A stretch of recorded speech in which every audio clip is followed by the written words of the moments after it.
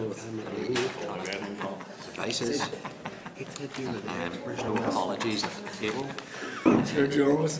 Draft Jones, of the meeting That's of the 5th of November is in your table pack on pages three to eight, so if members are content with the accuracy, then I'll sign accordingly unless there's any other changes. Agreed?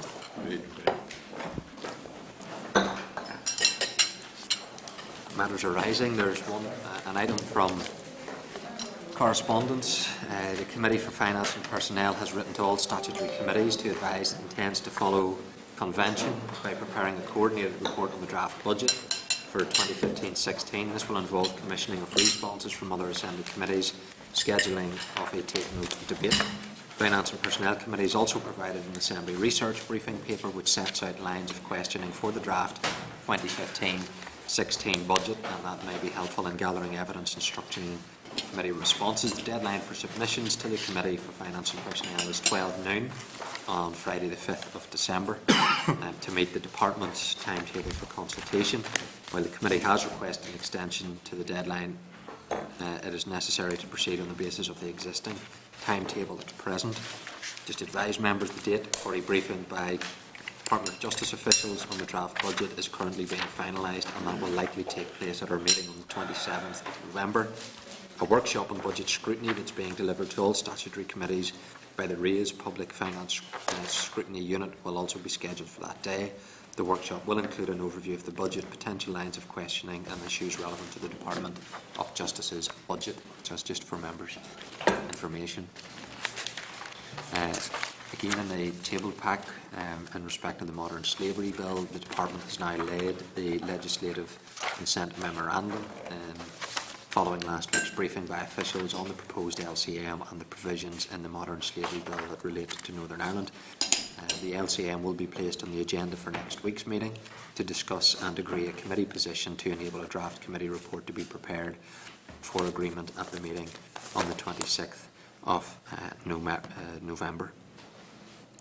Item three um, is the appointment of designate anti-slavery commissioner. The department has written advising of the Home Secretary's announcement of the appointment of Mr Kevin Hyland as the designate anti-slavery commissioner. The department was involved in the appointment process and the Justice Minister has endorsed the Home Secretary's decision and agrees that Mr Hyland has the necessary skills, experience and knowledge to undertake uh, this role. Another item on matters arising is the correspondence that the committee received from the Department of Justice indicating a number of individuals have written to the department to request that they be individually consulted in relation to the draft Police and Pensions Regulations 2015. The department has written back to those individuals advising that the consultation on these regulations has been extended to the 12th of November following a request from the Police Federation for Northern Ireland and any concerns police officers may have should be reflected uh, in the Police Federation response. Um, just to advise members, uh, Mr Stuart Glenn has also provided the committee with a copy of a complaint he's made to the Department of Justice in relation to the consultation on the proposal to change the PSNI pension scheme. Uh, we did agree at last week's meeting, um, and indeed arrangements have been made for Chairman, Deputy Chairman and other available members to meet informally with Mr Glenn and other police officers on Monday the 24th of November and that'll be at 2pm in this room in relation to the issue and the SL1 on the draft police pension regulations which is due to be considered at our meeting on the 3rd of December. Another matter of arising is the Department has laid the legislative consent memorandum in relation to the Serious Crime Bill. The committee considered a written briefing from the Department in relation to this bill at our meeting on the 2nd of July earlier this year, and at that time noted the approach that was proposed by the Minister to seek an LCM for Westminster to legislate on the devolved aspects of the bill. Uh, the devolved areas for which consent is sought for Westminster to legislate on our behalf cover uh, proceeds of crime, serious crime prevention orders, female genital mutilation and a new offence regarding paedophile manuals. Uh, the committee will uh, need to produce a draft report outlining the committee consideration of the issue uh, and the legislative consent memorandum. Uh, so members um, are content uh, we could get a briefing um, by the department officials on the LCM uh, if that would be necessary. Um, members will be familiar with some aspects of this, so uh, if members are broadly content with what the LCM is including, uh, obviously then we can invite the department just to, to bring forward the LCM. We'll place it on the agenda and seek to uh, get a committee agreement on it. So unless members would need more clarity, we'll just proceed with putting the LCM on the agenda. Okay. Okay, item four then is uh, the start of our Justice Bill consideration and oral evidence, uh, which we'll be receiving from the Children's Law Centre. So if they want to come forward to the table now. Excuse me. Um, pages 20 to 50 of your meeting folder and the clerk's paper uh, highlight the key issues relating to the bill that members may wish to explore further. Um, they have been tabled for members. Uh, let me welcome uh, Natalie Whelan, uh, Policy Officer, and John Patrick Clayton, uh, Assistant Policy Officer, uh, both from the Children's Law Centre, to the meeting today. Um, as normal practice, the session will be covered by Hansard and, and that'll be produced and published in due course. And I think at this point, uh, Ms Whelan, I'm going to hand over to you. I appreciate you coming to the committee today and to elaborate on the, the written submission that you have put in. So if you want to take us through, um, obviously we have the written report, so if briefly you want to cover that report, then what I intend to do, members, uh, the report is broken down into particular sections, so we, we will ask questions based on those sections, but if you want to cover all of it at the opening uh, stage, we'll proceed if you're, you're happy with that. Okay, thank you very much, Chair. Um, thank you to the committee um, for inviting us to give evidence today. Um, given the length and the scope of the bill, we're just going to outline a summary of our concerns in relation to the bill before proceeding to answer your questions. Um, just as a bit of background, the Children's Law Centre is a children's rights organisation and we're founded on the principles of the United Nations Convention on the Rights of the Child. We provide free legal advice and representation for children. We have a dedicated free phone legal advice line for children, their parents and carers called Chalky and a youth advisory group, Youth at CLC. We offer training and research on children's rights and make submissions on law, policy and practice affecting children. Within our policy, legal and representation services, we deal with a range of issues in relation to children in the law, including the law in relation to some of our most vulnerable children, such as looked after children, children in conflict with the law, children with special educational needs, those with disabilities and mental health problems. the UNCRC is a set of legally binding minimum standards and obligations in respect of all aspects of children's lives which the Government has ratified. The Northern Ireland Executive, as a devolved administration, has the obligation to deliver all of the rights within the Convention to children and young people. Legislative and policy developments in Northern Ireland should be taken forward in compliance with the rights enshrined in the Convention. Part 4 of the bill deals with victims and witnesses. We are broadly supportive of this part of the bill and we believe that it has the potential to improve the experience of child victims and witnesses within the criminal justice system.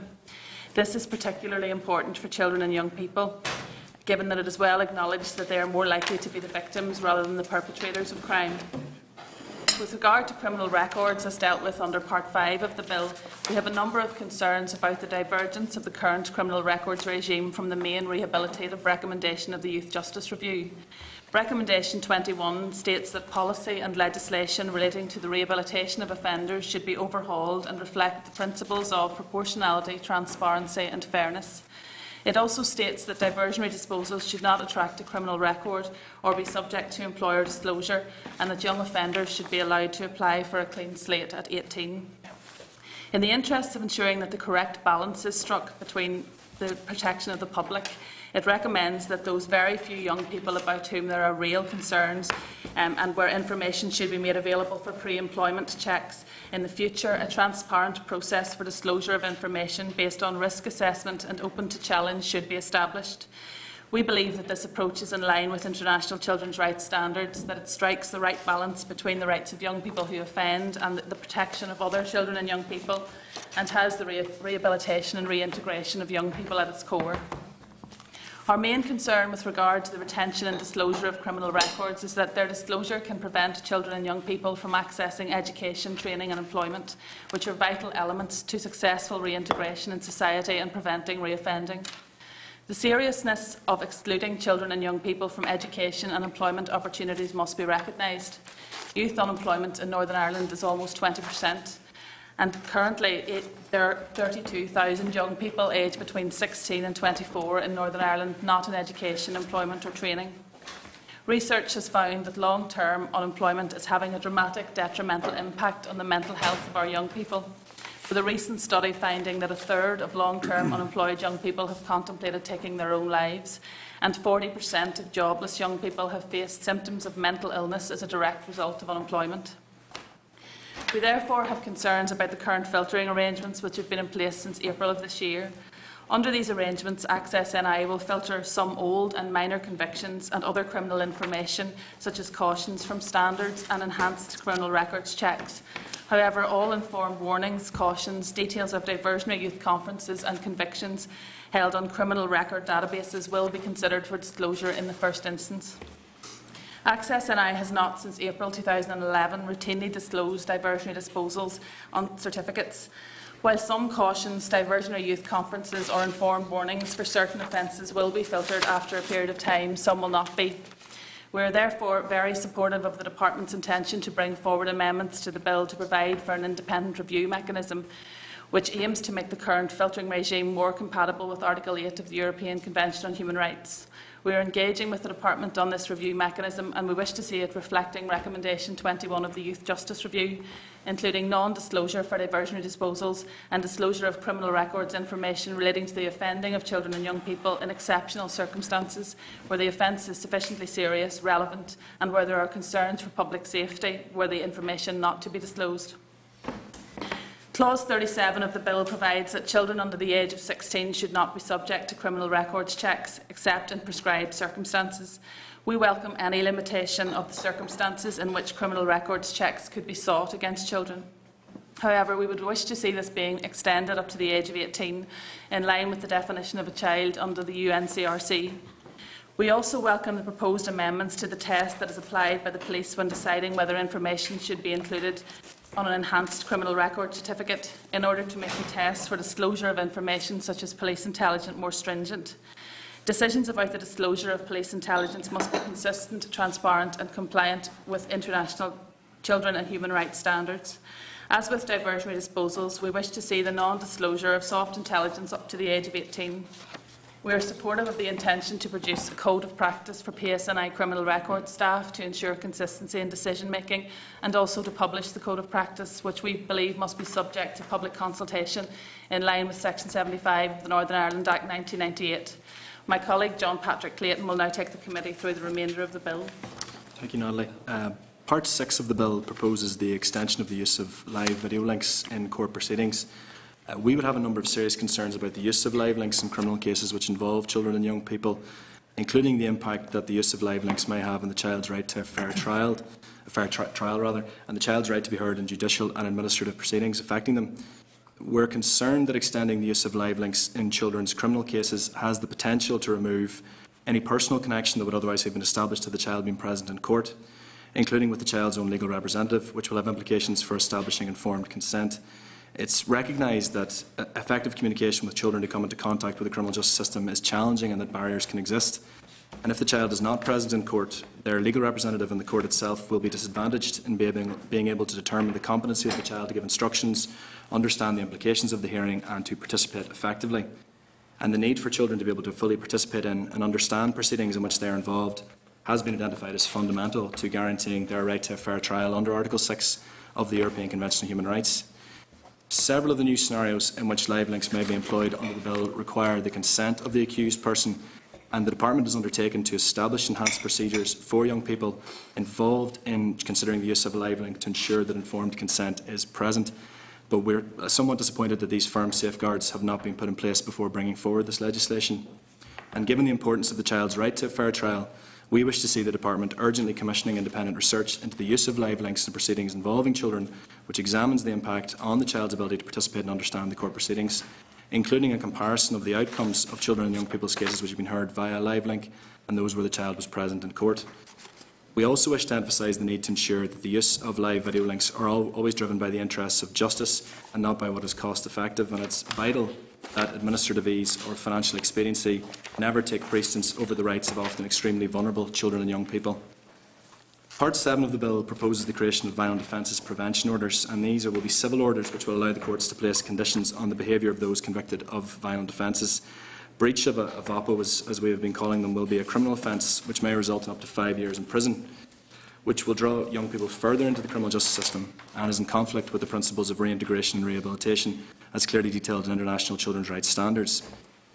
We believe that the imposition of additional conditions through the application of VAPOs to under 18s is unnecessary, as violent young offenders who are released from custody should already be subject to conditional release on licence. The parole commissioners will also only have directed the release of the young person when satisfied that it is no longer necessary for the protection of the public from serious harm that the young person should be confined. Similar provisions in England and Wales do not apply to under 18s, and we do not believe that the Department has provided any evidence to suggest that VAPOs are necessary in relation to children and young people in Northern Ireland. Clauses 77 and 78 of the bill relate to the issue of encouraging early guilty pleas in Northern Ireland. CLC wishes to see adequate safeguards and protections being put in place to ensure that proposals aimed at tackling delay, such as encouraging early guilty pleas, do not interfere with the child's right to a fair trial, and that safeguards and protections are in place to ensure that young people only plead guilty where appropriate and appreciate the consequences of doing so. And we think this is particularly important for vulnerable young people, such as children with learning disabilities, those with additional needs and or mental health problems, and those for whom English is an additional language. CLC is supportive of the proposed amendments to the aims of the youth justice system to include the best interests of the child as a primary consideration. Thank you for allowing us the time to provide evidence to you today, and we'd be happy to answer any questions the committee members may have. Okay, thank, thank you very much, Natalie and John. Um, so members, if you want to refer, um, Christine has a good paper there which breaks down each section of the, the bill and the information from the Children's Law Centre, so it was in your memo. And what we'll do is, I'll take each section, so um, if members want to ask a particular question in those section, you indicate, um, and then we'll, we'll try and curtail it to that particular section. Um, so section one is to do with the single jurisdiction issue. Um, and probably just a general question that I would put to you one around what potential drawbacks do you consider may flow from having um, a single jurisdiction that may need to be addressed? I think, Chair, um, from our perspective, the concern that we would have is that um, these proposals do seem to be quite driven toward efficiency in the court system, and I think our concern would be the interests of, of young people who may be appearing in the courts. Uh, so some of the concerns we have raised would be around, for example, young people possibly having to travel quite large distances to attend court, um, and what we have suggested previously to the Department is that they would need to consider how that would be mitigated against, perhaps by providing for the costs of travel or by providing uh, travel options. Um, I think the other concern we would have is how decisions will actually be made around determining uh, when, where rather court business will be allocated. So those would really be our two broad concerns in relation to that proposal around, around single jurisdiction. Okay. Uh, Mr Maginness? Uh, uh, Just, uh, it it was really in a later section, so Okay. perhaps I should... Well, I'll- come back to you then. Yes, thank you. So if, if it's on section, on this particular single jurisdiction, Yeah, Mr Lynch? It's uh, something that is, thanks, Chair. You mentioned you had concerns about the video links in cases of young people. Could you elaborate on that? Sean, I'll, I'll come back Oh, to sorry, that. sorry. I'll, I'll come back to that in the, the live links as well. Mr McGlone? Uh, Chair, just a wee bit of clarity around this. In your um, submission that, on, that you have here, page five, you refer to the number of, That's the video links there. The number of those who may be disadvantaged as a consequence of this, even if the numbers affected would be small as suggested by the DOJ, the potential consequences for children who may not be able to attend court are grave, are so grave that they constitute major impact on their employment, enjoyment of equality of opportunity. Could, could you tell me what you mean by that? It's just, I'm picturing a situation, right? There are courts closing in a lot of the local, t- and you're presuming that uh, I'm sort of trying to get, a court can be an intimidating place anyway, even to go along to present to a Social Security Commissioner on something which isn't criminal at all. Um, I'm, I'm trying to establish whether or why they would think that their local courthouse would be less intimidating to say one in Antrim or Belfast or, or Dungannon. That's the first thing. Then flipping it around to the second thing, if, if someone has excuse me, if a young person has such major issues that they can't attend court, i.e. disability issues or whatever those may be, um, is there such a thing that can be considered as a domiciliary hearing in those really exceptional cases where that is the case? I just don't know the answer to that second one. I suppose our major concern here is that um, we were we see real potential, I think, for um, adverse impact to be suffered by young people um, as a result of maybe a lack of um, a lack of income that would be able to facilitate them to pay for transport to attend court. Um, that was the main thing, and we were expecting. Um, in the consideration of this proposal by the department to look at mitigating measures as to how they might mitigate against this adverse impact. I mean, and we don't feel that that has been done effectively. I mean, we're talking about provision of transport or paying for transport to get young people to court. I don't think that um, we're suggesting that any court is more or less intimidating than any other court. I mean, the court is fairly intimidating for all young people, regardless of where it is. But it's really about making sure that young people have access to justice um, and making sure that where there are barriers to that access to justice, that those barriers are addressed by the department. Um, I'm not sure about the domiciliary court. Um, certainly that's not something that has been raised in relation to this, but we, it's really from our perspective, it's about mitigating against that adverse impact because we don't want to see young people um, getting into more trouble or being drawn further into the criminal justice system because of a failure to be able to facilitate them attending court. Um, I think that's our main concern. Um, we'd like to see access to justice across the board for all children and young people and a facilitation by the department where there are barriers to that. I think um, just just to briefly add to what, to what Natalie said, I think the proposals um, initially which were consulted on, I think some years ago now, uh, discussed the possibility of these arrangements being underpinned by some sort of administrative framework or uh, some sort of policy to determine how court business would be distributed. And I think the concerns you're you're talking about, Mr. McGlone, would be we certainly would think would be the kind of the relevant issues that would have to be considered. Certainly, if one of the parties to the proceedings had a disability or had an issue which which made travelling to a certain location uh, very difficult for them. We think that's something that has to be considered, and certainly, to our mind, we would we would like a little bit more information about where that where that proposal is at around creating a, a policy or an administrative framework to determine how these cases would actually be allocated. Um, Okay, thank you. Okay, Mr McCartney? Thank you very much. I think, th- th- thank you for your presentation. I think your last comment sort of perhaps answered this, but uh, I read it, you, you're not opposed to the idea of a single jurisdiction, but where there are barriers and, and access issues, then they should be addressed. Yeah, um, it's, for us the issue fundamentally is access to justice, um, and it's about where it's about the identification really of any barriers in, in ensuring equality of opportunity and the enjoyment of access to justice for all children and young people, and a recognition of the types of young people who are in conflict with the law. So the fact is, is that the majority of young people who come into contact with the law are from socially economically deprived areas, um, and maybe don't have the ability or the means to pay for transport, etc. And it's to ensure that if this decision is taken, that children not, are not suffering as a result and are not drawn into the criminal justice system through no fault of their own, and that the mitigating measures are put in place to ensure access to justice for all. Thank you. Okay. No other members on section one? Well then, section two.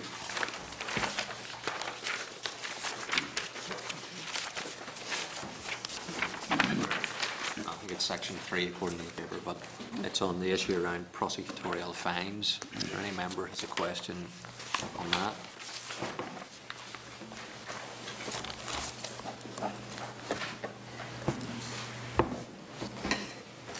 No? Okay. Section four is on victims and witnesses. Is there anything on section four that members wanted to pick up on? Mr McCartney? I mean, again, and, and just as I read this from the, there are issues which you feel need to be addressed. Are you saying that these, they should be on the face of the bill or a provision made administratively to deal with your issues? Um, both, sort of.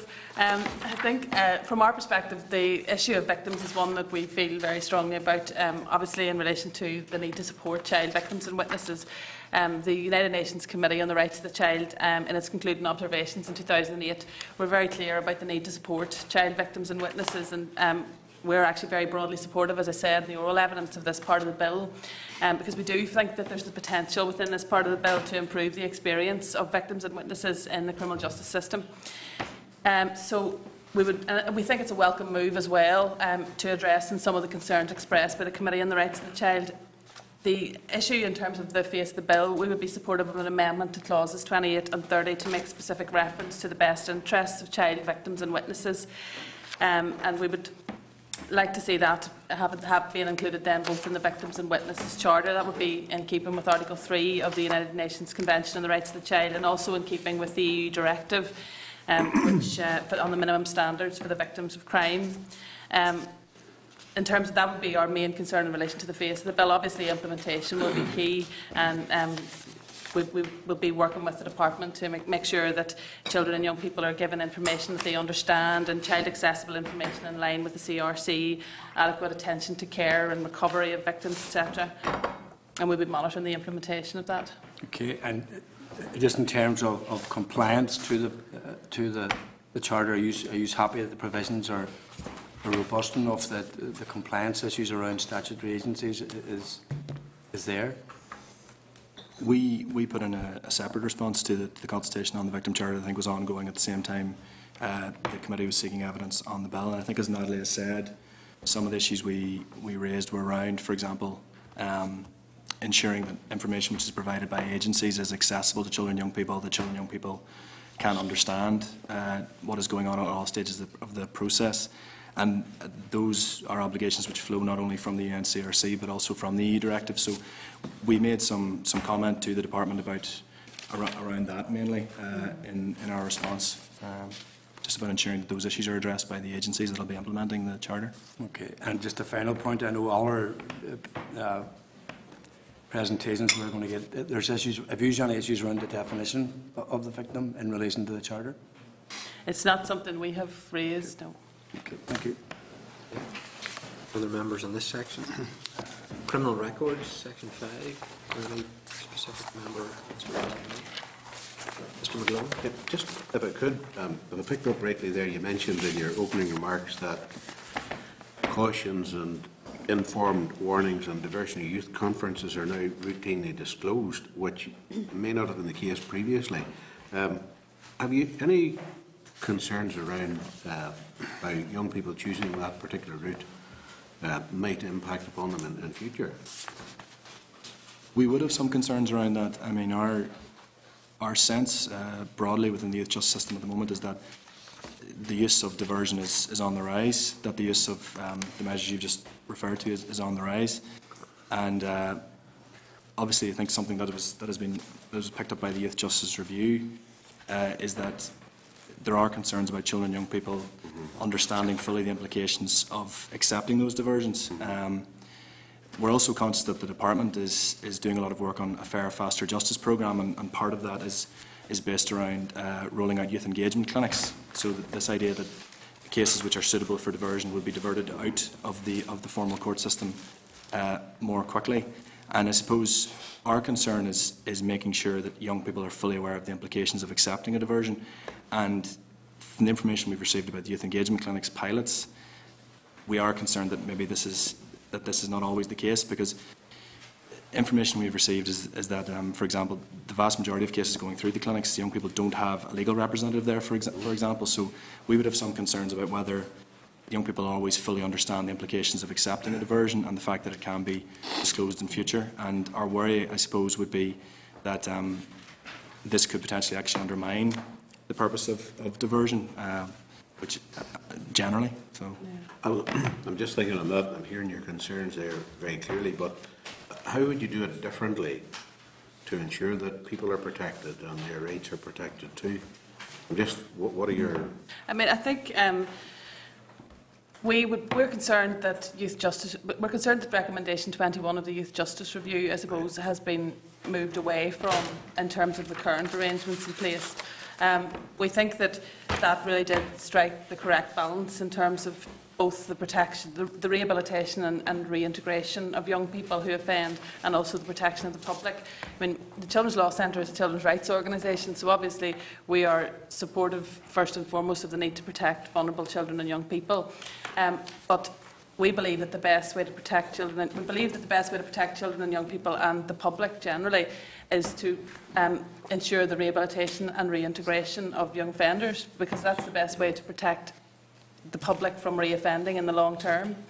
Um, so we believe there needs to be, a, a, a, the review mechanism is really welcome because there needs to be a system in place where decisions can be taken about whether or not something needs to be disclosed and genuinely needs to be disclosed because there's an issue for fear of, for the public protection really. Um, and that those decisions need to be taken in line with international standards, in line with what the recommendations under the Youth Justice Review say. Um, and we think that that would bring us back further towards international children's rights standards and, and better outcomes really for all. So really what you're saying is some sort of mechanism in place before details are just routinely disclosed. Yes. Yes. Yeah, um, we don't, we don't think that um, anything should ever be routinely disclosed. Um, that it really should be, there should be a weighting of whether, first of all, the, the, the offence is serious enough, um, whether it's relevant, and whether there are genuine concerns for the safety of the public if this were to be disclosed. Um, I mean, the issue for us is that young people are being denied access to employment and training opportunities in Northern Ireland, um, and that's having really major impacts on the ability of young people to be able to progress on with their lives. And it's actually working in conflict with preventing reoffending, um, which is having an impact on public protection itself. And so I think in order to strike the correct balance, there needs to be a system in place whereby um, minor offending, um, young people's minor offending, where there is no risk of to the public safety, is not disclosed um, unless it can be shown that that, that can be justified. Yeah, Thanks, Chair. Again, I mean, just, to- just to put this clear in my head, uh, uh, in bold type under your point six five, uh, I mean, I read that, that you- what, what you're saying now from your presentation, that you feel that recommendation twenty-one from the Youth Justice Review isn't reflected on the face of the bill, and you feel it should? Um, it's not reflected on the face of the bill at the moment. Um, at the, mo- w- the current arrangements that we have in place have been in place since April of this year, the filtering arrangements. Um, s- they, we believe we're, ha- we're, we welcome the proposal to bring forward clauses um, to the bill which will introduce an independent review mechanism and we would have liked to have seen those clauses actually um, and ideally we would have liked to have been consulted on what those clauses would look like. Um, we think that there is real potential in the review mechanism to bring it back towards closer, much closer to what recommendation 21 said, and that's what we would like to see, and that would be the non-disclosure of diversionary disposals and the disclosure of conviction information in exceptional circumstances for under 18s where the offence is sufficiently serious, it's relevant and there are concerns for public safety if the information were not to be disclosed. And, and uh, are you saying a, a sort of a proper or efficient independent review can It has bring us it- on the line? and- We believe it has the potential to do so, and we're working with the department on that. Um, and we have had very positive engagement with the department, um, but we believe that, that they, those elements have to be central to the review mechanism to bring it in line with recommendation 21 of the Youth Justice Review and international children's rights standards. Okay. And in relation to clause 37, uh, your sort of, your position is that the, the definition of a child should be extended up to the age of 18? Yeah, we think that's more in keeping with children's rights standards.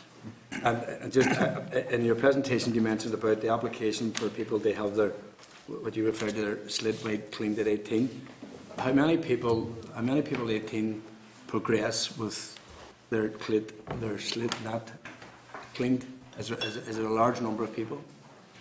At the minute, there isn't any, um, there is no provision in place to uh, allow for children to apply to have their slate wiped clean. Yeah. Um, so the way that the filtering mechanism works at the minute, some criminal offending, um, diversionary disposals, there's a, it's a framework, they will be, some will be filtered out, some will not be filtered out depending on whether or not they're on a list of, um, spe- of specified offences. Um, so And there are different periods of time that obviously apply Yeah. depending upon the, the nature of the disposal. So the majority of young people um, who offend, unless they it's a, a non-specified offence or if it's just one conviction, um, they will continue to have that on their record. And, and do you think there should be some provision to tighten that down, or? Yeah, yeah. Um, there should, I mean, I think the potential is in the review mechanism. Um, certainly, you know, we, we, we are working with the department on that because we do see a real opportunity here to draw some of that back um, so that there isn't this detrimental impact on the ability of young people to be able to access employment training and education, all of which are massively important um, in terms of their progression and, and, and the reduction of offending. Uh, uh, Have you any instances where people are denied access to training uh, as a result, say, of, a- of a conviction? uh, Yeah. Training specifically? Yeah, we would have, um, we, um, we would take calls on, our, on, every, on all issues which impact on children's lives through our Chalky advice line, and they would have numerous examples of young people, um, particularly at this time of year, who would phone up about courses that they didn't get on to or um, training that they weren't able to access because something has come up on a criminal records check, um, and they would be looking to us to provide um, advice to them as to how they challenge that and, and what they should do about that. Would that be in further and higher, higher education And all, all institutions? courses and all kinds of education, yeah. Thank you. Mr Douglas? Uh, Thank you, Chair. Thanks very much for the presentation so far. Um, Come back again to what, what Raymond mentioned about the young offenders should be allowed to apply for a clean slate at eight, age 18, and certainly in my own constituency over this past couple of years, particularly the rat and all, I, I see far too often parents coming in, the young person has been arrested, and it's a mark on them for the rest of their, their, their, lives. Um, would you have any idea, maybe uh, Raymond mentioned this, but even the last couple of years, the, number of young people would have fallen in that category across Northern Ireland, never mind East Belfast? Any numbers then, Natalie? Um, I- don't think we have, I wouldn't have any numbers um, in relation to that, but I think what the, the point that you raise is a really important one, actually, and that's about how young people can be drawn in to the criminal justice system, um, you know, for something that they ordinarily wouldn't have, have been involved in. Um, and that's, that's actually a, a real concern of ours. I mean, one of the issues in relation to filtering is that if a young person commits more, if a young person has more than one conviction, that that will never be filtered out, um, regardless of what those convictions are for. And so, say for example, the, the cases that you're talking about, if a young person um, you know, something happens on an off night and it's not characteristic of that young person's behaviour, that will leave them in a position where that will always be um, disclosed on an enhanced criminal records check. Um, we don't think that that's fair because, and that's what the review mechanism can do, Yes. and that's the potential of the review mechanism because um, it will allow for the circumstances of each individual case to be considered um, and is- a decision taken on whether or not this child actually does pose a risk to public safety. Um, and that's why it's really, really important that we work on this review mechanism to try to ensure that young people don't bear the burden of foolish mistakes or misdemeanours for the rest of their lives. And, and where would this stand uh, at an international level, say, if we agreed that, you know, at age, age 18, you clean the slate? Because I'm thinking of, and over the years, I've been involved in programs of taking kids to, like, say, Canada and America. Once they get a record, they have the chance. And that could be some young lad or young, young girl throwing one stone. But, you know, clear record maybe up until they're 16, 17, whatever. Um, where would this stand at an international level, mm-hmm. say with the likes of, the Canadas and the United States?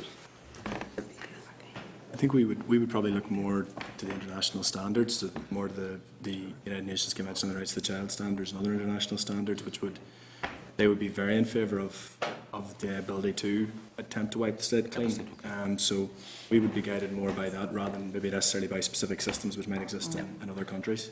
It's difficult to say about, like, particularly America, because um, their immigration legislation may ask questions that you know Yeah. you have to answer that don't reflect whether something will appear on an enhanced criminal records check.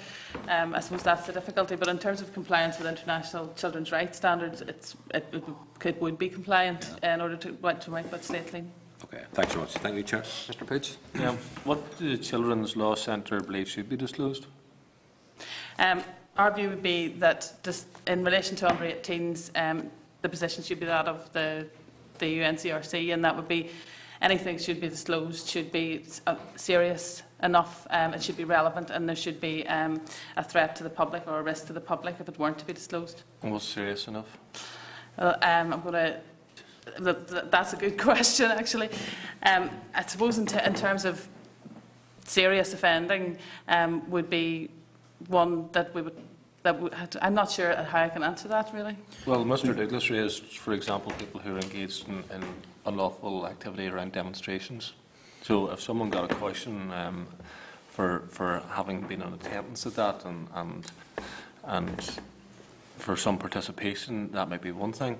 Uh, if someone had um, went and got petrol bombs and, and, and threw them at, at police, that would be a completely different matter.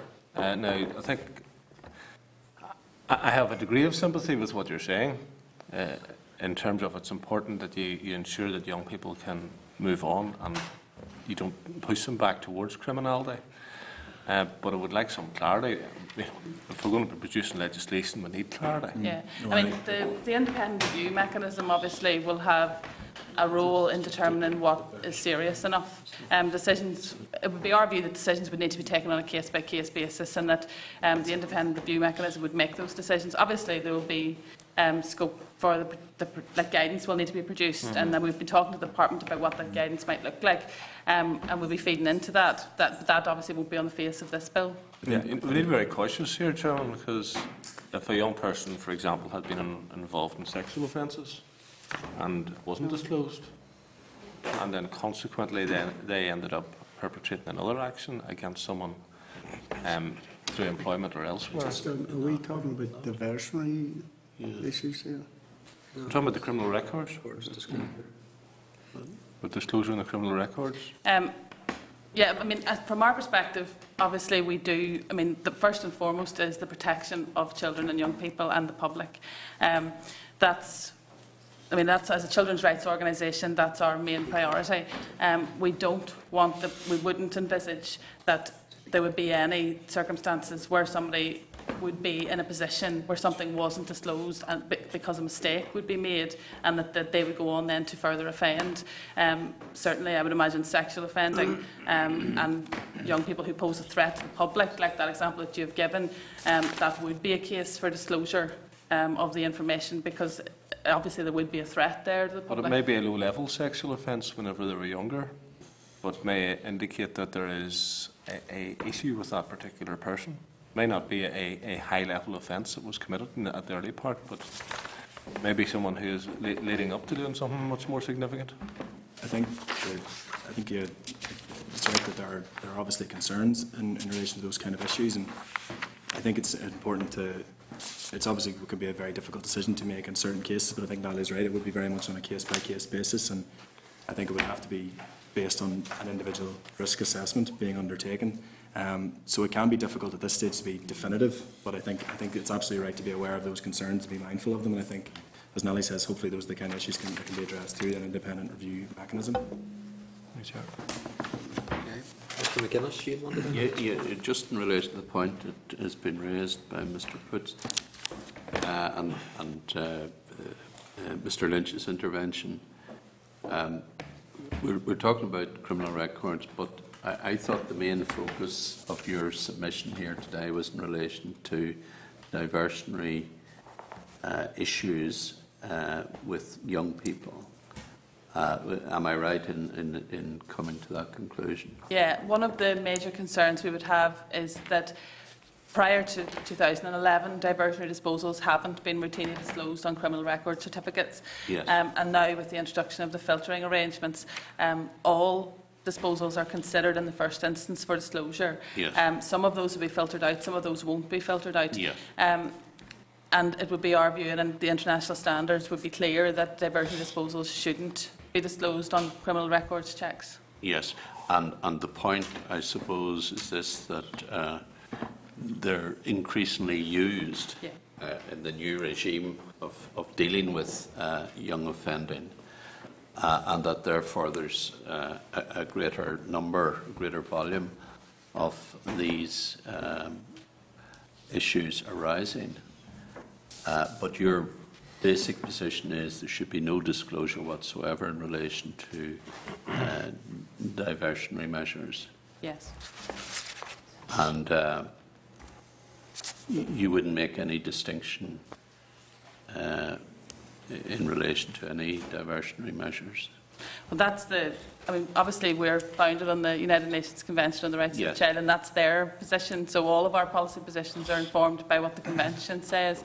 Um, I think where there are genuine concerns about public safety, um, that would be something for the independent um, monitoring mechanism to consider in relation to disclosure. So, so what you're saying is that there is a, a, a um, fail-safe mechanism where if, uh, in fact, there was some sort of risk to the public, that, uh, that could be disclosed in certain circumstances. Yeah, I mean, um, we have to remember then that the police obviously have the ultimate say in terms of, you know, if something is relevant and ought to be disclosed, then the police will decide that it should be disclosed regardless. Yes, and Um, that, that test is going to be amended. Yeah. Obviously, that test is going to be amended under the under the bill, under one of the clauses within the bills. But Natalie's absolutely right. That that mechanism already exists currently. Yes. Ah, Okay. No, thank you very much, Chair. Okay. Um, li- Live links, Mr Maginness, you had indicated. Uh, I think uh, Mr Lynch first. Yeah, of all. sorry Mr. about that. Uh, Thanks, Chair. Uh, You mentioned uh, about the, in your presentation, about live links and concerns about them. Could you elaborate on them, please?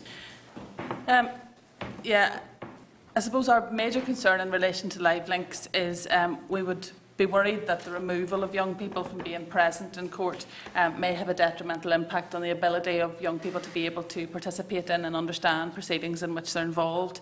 Um, as we said in our presentation, the twin concepts of participation and understanding um, are so vital um, to ensuring the child enjoys the right to a fair trial under Article 6 of the European Convention on Human Rights.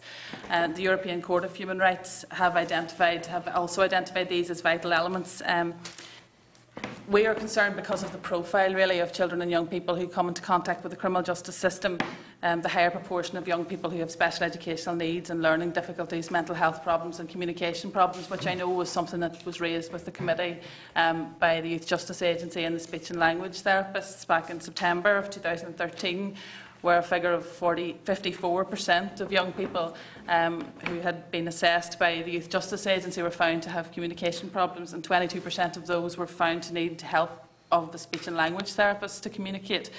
Um, so our issue would be removing young people even further from participation within their own court case um, may further hinder their ability to participate and understand the proceedings in which they're involved. Um, the European Court of Human Rights was, has been clear in case law um, about the need for courts to put in place additional measures um, to ensure that the child receives a fair hearing and can participate and does understand. Um, and we've seen that replicated in Northern Ireland as well. The Lord Chief Justice here has issued a practice direction um, for the, about the, the need to assist young defendants to participate in and understand the proceedings that they're involved in, and also um, has um, reminded the court about the continuing duty on them to explain each step of the trial to the young person um, in a way that a young person can understand.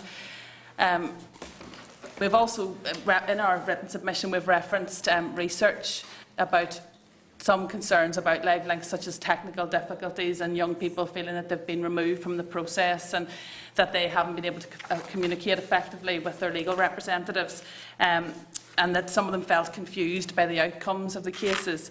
Um, that would cause us major concern, really. Um, and we, we think that what needs to happen is that there needs to be independent research commissioned by the department to, to tell us once and for all what the impact is in terms of a young person's ability to participate in and understand the proceedings in which they're involved, and also in relation to the outcome of the case, because um, there needs to be some comparison, we believe, in relation to the outcomes of cases where young people have participated in cases via live link and the outcome of cases where young people are present in court, because it does raise serious question marks around the ability of a young person to give informed consent to appearing via a live link if they're unaware of what the likely outcome or impact that will have on the outcome of their case. Um, so, I mean, while we understand that live links are more cost effective and more efficient um, and more convenient, I suppose the concern for us would be that use of live links should never be driven in the interests of expediency or convenience, but should be about the best interest of the child and in the interest of justice, really. Okay.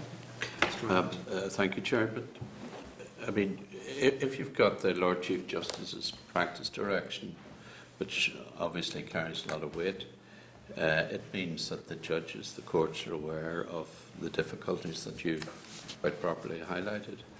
Is that not sufficient, um, uh, sufficient protection for the, for young defendants in courts? And is your approach not a belt and braces exercise uh, in terms of, you know, being uh, maybe uh, overly uh, concerned about this issue?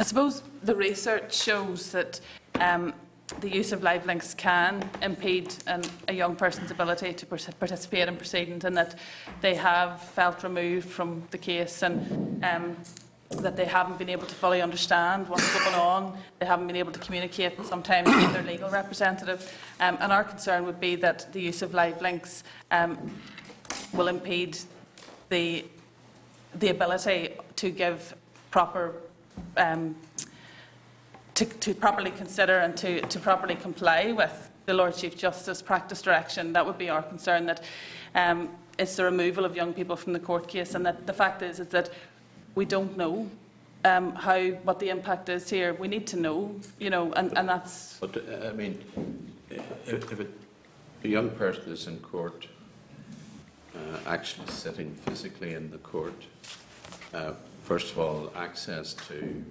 counsel or to solicitor is limited in any event. Uh, But the young person, and even if they're actually in the court and with their solicitor nearby and so forth, don't necessarily understand what's going on anyway. So, uh, what's the difference? I think is I think you have to consider as, as, as well here that um, up to now live links have been used in certain proceedings, and Yes. I think our concern is that whilst issues have been highlighted in their use involving children and young people, I think our concern is that before there be any decision to extend the use of live links, perhaps to cover differing forms of proceedings that haven't been used in before, such as I- I think one example is uh, breach proceedings. So if a young person's um, being brought back before court for breaching, I think, uh, if, I'm- if my memory serves me correctly, uh, probation requirements, for example. Yes.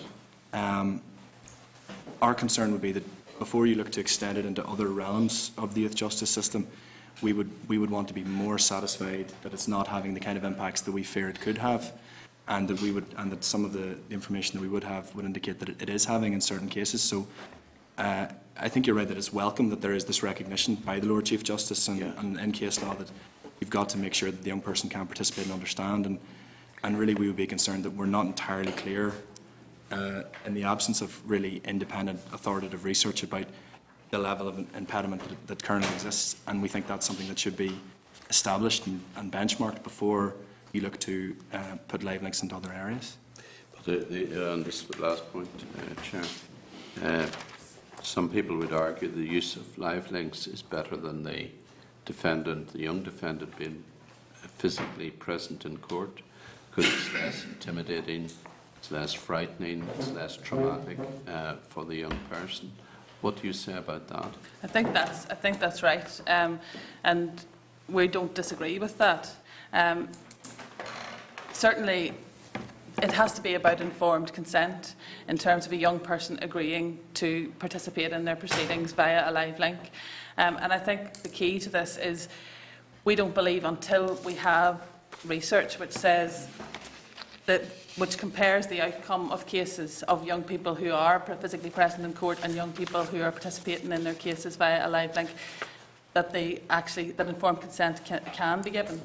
Um, and so, if if that's the case, that um, there is no difference, and that's what the research tells us, and that's fine. Then that's that's that's we have no problem with that at all. It's a young person's decision, and it's entirely up to them. But it's about making sure that whenever a young person gives informed consent, that they know what they are agreeing to, they know, they know what they're consenting to, um, and that it's not just about this is less intimidating, because if there's going to be a serious impact on the outcome of their case, then we need to be aware of that.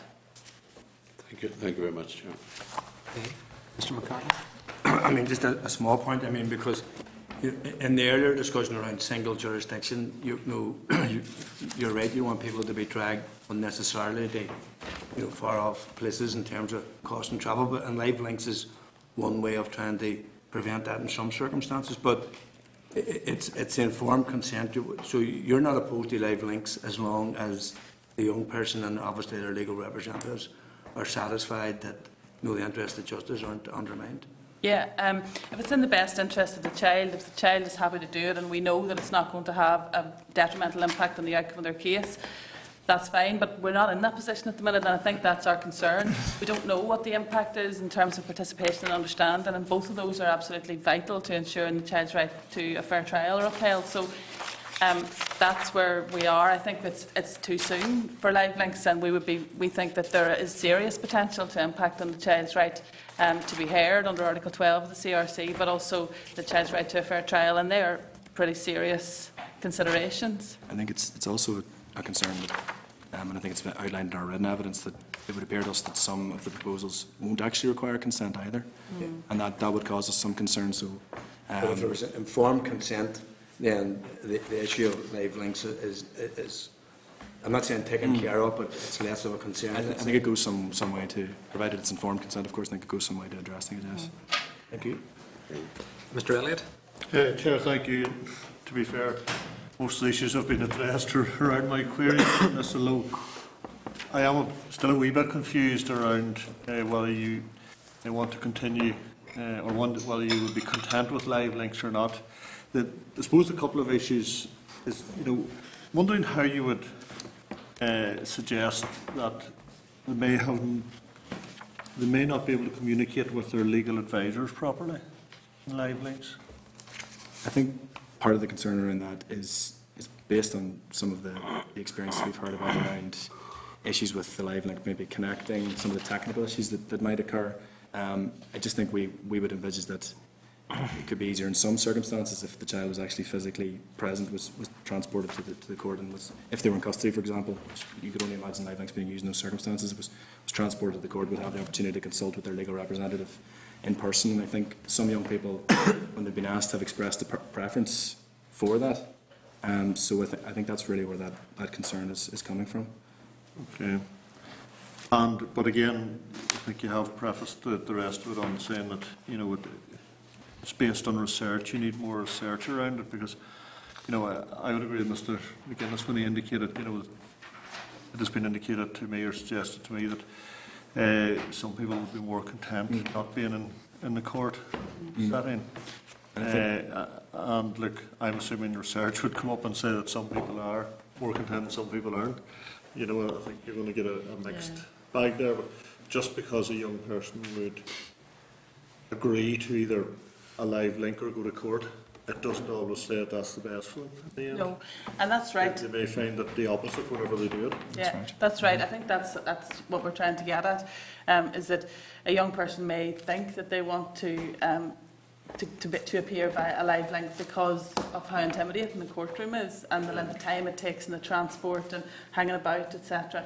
Um, but actually, we are, you know, we're not sure about the impact that appearing via a live link will have on the outcome of the case, the ability of the child to be able to um, participate and communicate.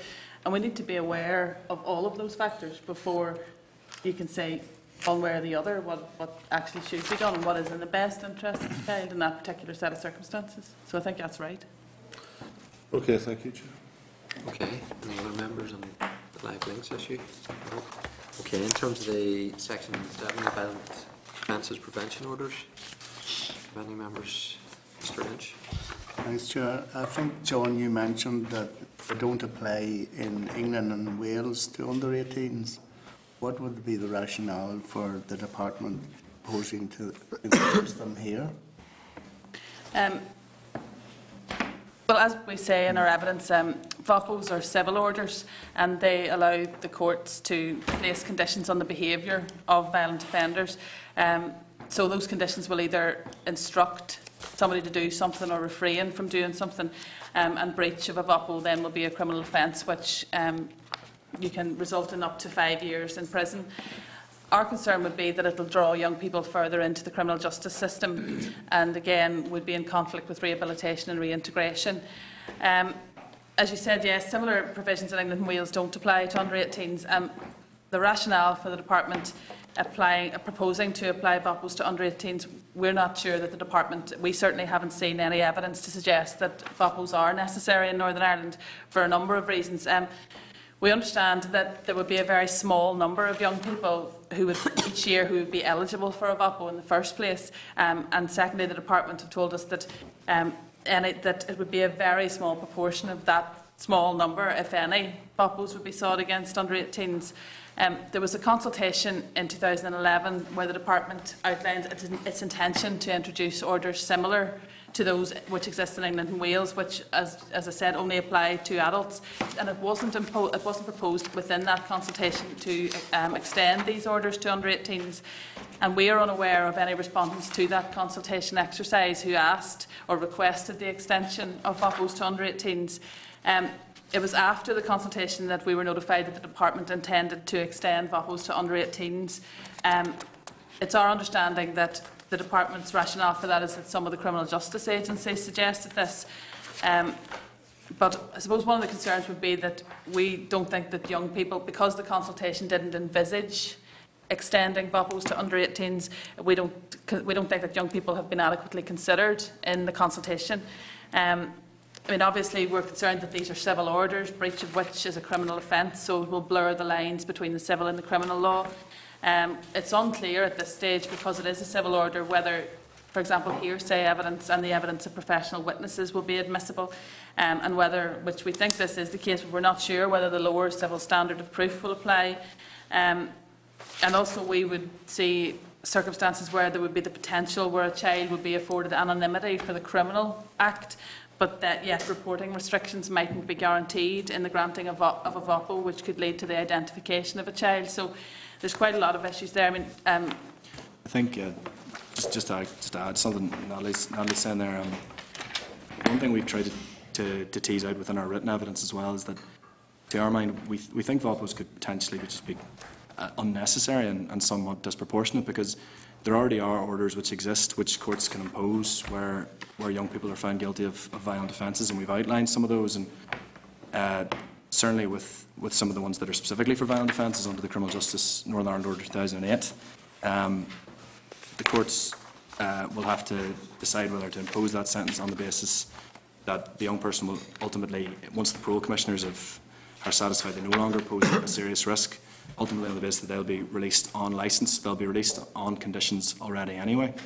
Uh, so that's really one of the issues we've raised with the department previously is, is how those systems can interact. And I think our our concern would be that you potentially have a situation where you'd have a young person under one set of conditions through their licence, but also also having a second set of conditions imposed upon them, potentially through uh, a VOPO.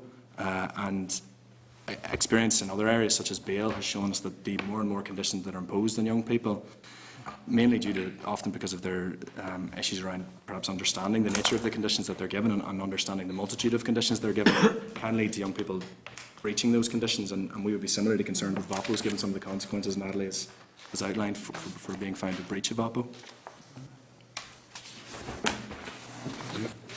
In terms of the, the VOPO, what, what's the alternative to, to using the VOPO?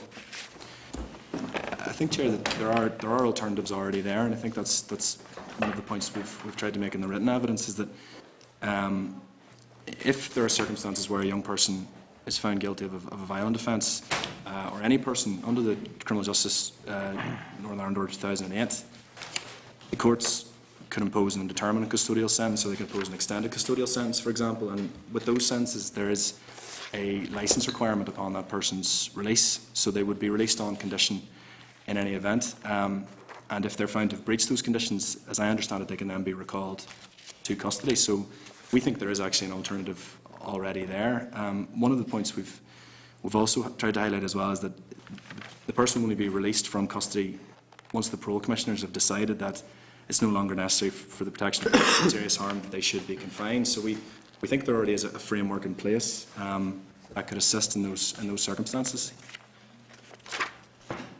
Mr McCartney? I just a, a number of who who would who makes the application for the VOPO to apply?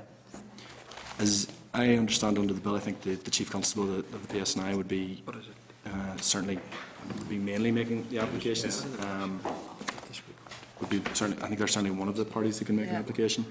Yeah, I- I, I mean, I- I'm I'm just going to say, say a a situation of, a- of a 17-year-old and, and they're convicted of domestic violence. Uh, Is, the- is the probation conditions enough that say that would restrict them from access to the person that they first offended? I think it would, it would obviously depend, firstly, I think, on the nature of the offence of which they were convicted. So um, I think in order to actually qualify for a VOPO, it has to be an offence which is on one of the lists under the 2008 order. So they would be uh, quite serious violent offences. Um, so I think that's the first, first consideration. Uh, I think the second consideration then would be, it would depend upon the nature of the punishment that the young pers- person was then given in court. So if the circumstances you've talked about, a probation, for example, there would be um, conditions attached to that probation, and if it was found that the young person wasn't abiding by those conditions, they could be brought back to court to be dealt with alternatively. And that would be the same with, with, a, with a host of other orders, such as youth conference order or uh, even with the juvenile justice centre order, there's an element of supervision built into the, the young person's release back into the community. So even short of the orders I've just mentioned around under the 2008 order, the, uh, for the for the, the very serious violent offences. So say like in terms of a, of a conditional release in relation to, say, a domestic violence scenario, then there will be restrictions, well, there's the possibility of restrictions being placed on the person not to be, uh, like a non-molestation order uh, effect as well.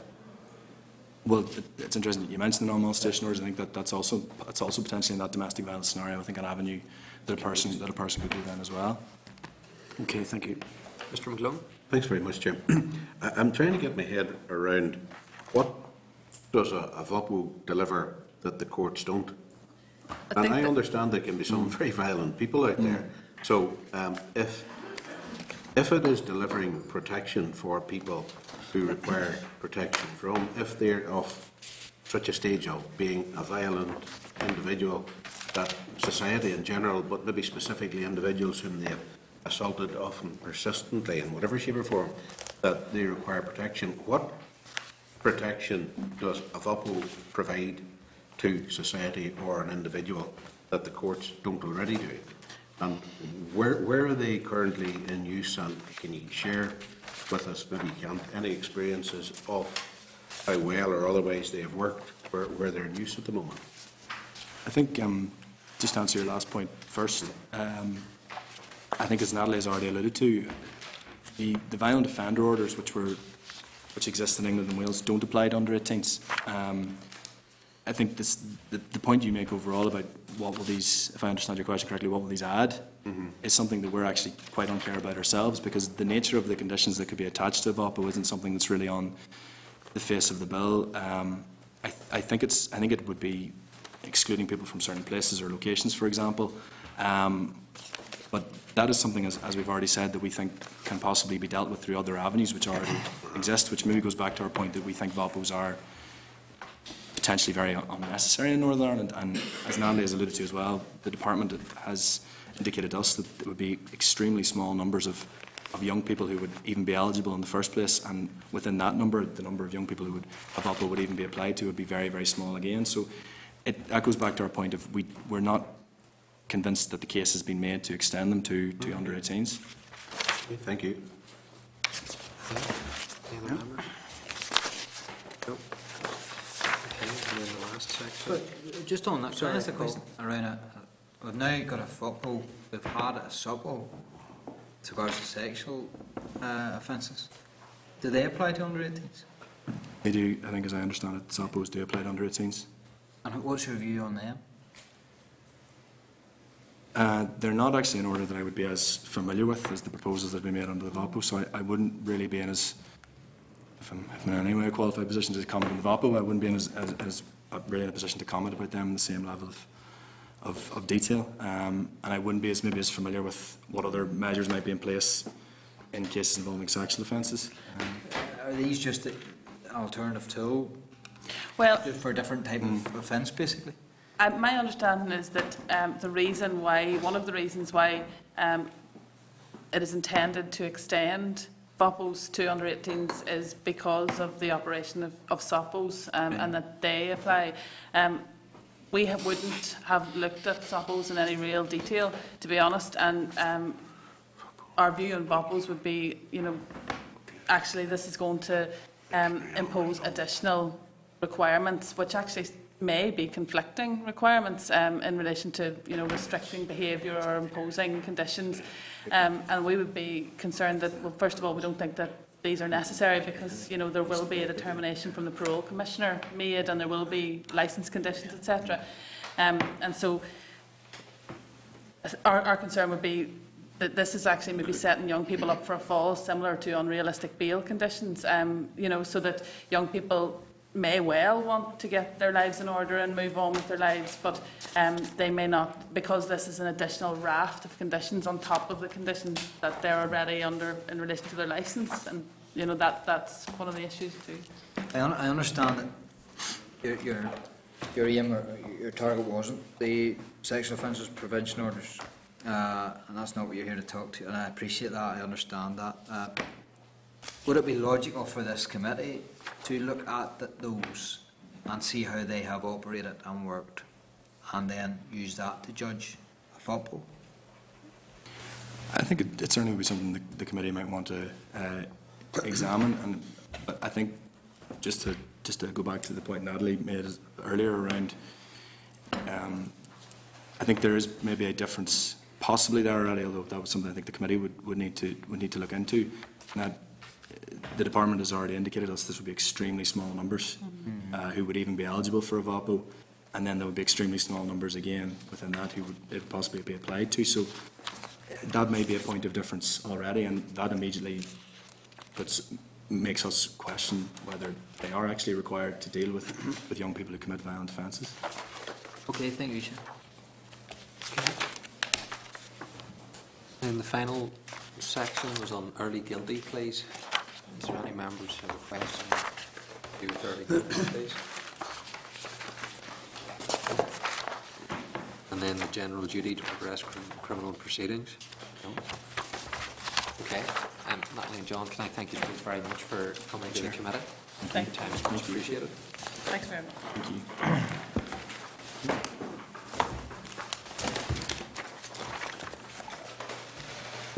Okay, members, we'll move to the, the next session, and that is um, from the Northern Ireland Human Rights Commission, so if they want to come forward. Oh, sorry, sorry, I'm jumping ahead of myself. Well, they get new jobs. Apologies, um, Niacro, so if Niacro want to come forward. Pages 52 to 77 of your meeting folder has um, relevant information.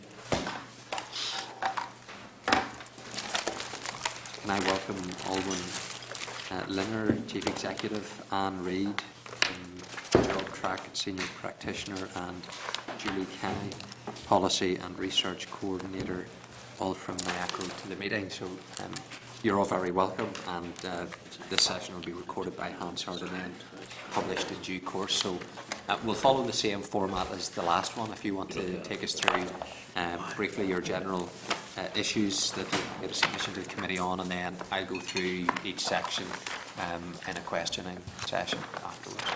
Okay, thank you very much, uh, and thanks for the opportunity to be here today. Um, as you've said, I'm Olwen, I'm the Chief Executive at NIACRO. Anne Reid, who's with me, is Senior Practitioner on our employability programme, Job Track, um, and she's responsible for promoting fair recruitment for people with criminal records.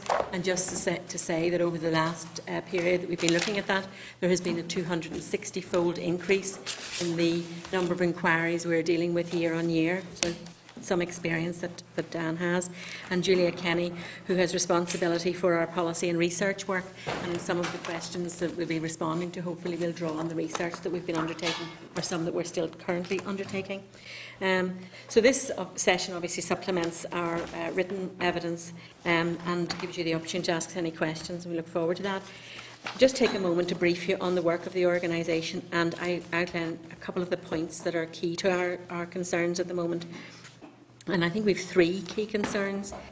Despite recent changes to the current criminal record regime, um, there are still many instances that prevent people with a record being reintegrated back into society and the workplace. And so a mechanism that does allow people to apply for old or minor convictions to be removed from their criminal record is needed to promote better resettlement and therefore reduce reoffending rates. Uh, and this is in line, particularly as you've heard from others, with uh, section 21 of the uh, recommendation 21 of the Youth Justice Review, um, which is still yet to be implemented. Our second concern um, comes uh, from the fact that we need to move to a situation where we formally end the option of imprisoning people for the non-payment of a fine. We know we have a stay in that process at the moment, but we need to, to formally end that process. And finally, while we recognise that it may be beyond the scope of this bill as it currently stands, we want to draw your attention to the fact that crime has both direct and indirect victims, and that from our experience, the families and children of those people who offend or who are accused of offending also suffer as a consequence of crime. NIACRO is a voluntary organisation that has been working for more than 40 years to reduce crime and its impact on people and communities. We work with people in prison and their families, adults in the community, children and young people. The nature of our work day to day means that we provide services to and are aware of the issues affecting people who have offended, young people and adults who may be at risk of offending, victims of crime or antisocial behaviour and their families. Over the year, we've gathered most of our evidence from listening to the people we work with um, and, and understand the lasting damage of a criminal record. This, alongside the importance of helping people to avoid entering the criminal justice system in the first place, is something that we've raised with you in our written evidence. We know that being able to access education, employment and training generally greatly reduces the risk of reoffending and is a key factor in helping people to stop offending altogether. However, too often, a criminal record, even an unofficial, non conviction information held by the police, acts as a barrier to employment or training and therefore undermines efforts for effective resettlement. In effect, the criminal justice system can at times seem to be working against people attempting to reintegrate back into society and to stop offending behaviour. And we strongly believe that the system the way the system works, the way people in the media think, and the way the law is implemented can amount to barriers to accessing sustainable education, employment and training. These barriers need to be minimised for us to see a reduction in reoffending, which will in turn create a safer society.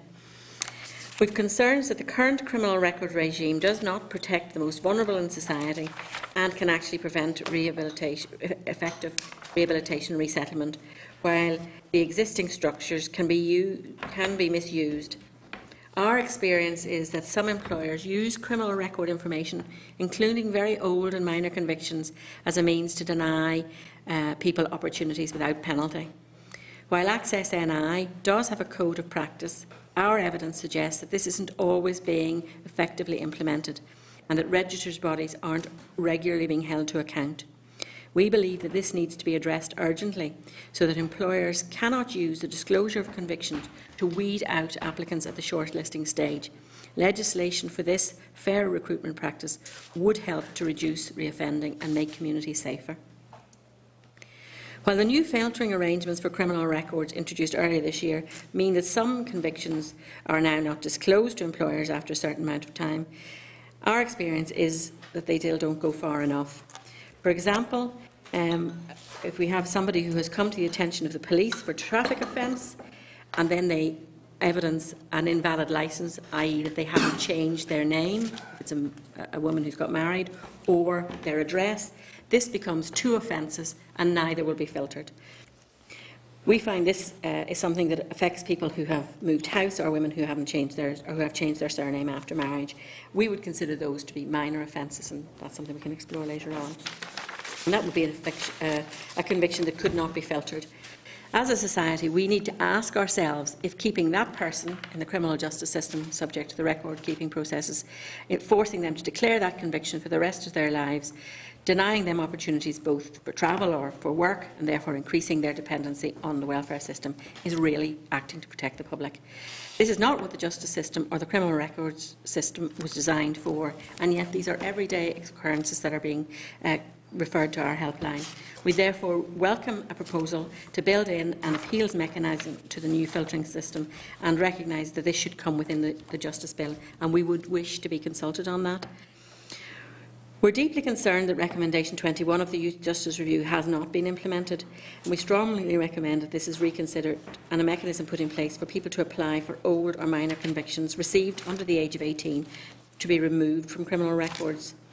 To continually punish and stigmatise anyone for a minor offence committed as a child can ruin their life chances and affect their mental health, again creating barriers to uh, employment, education and training.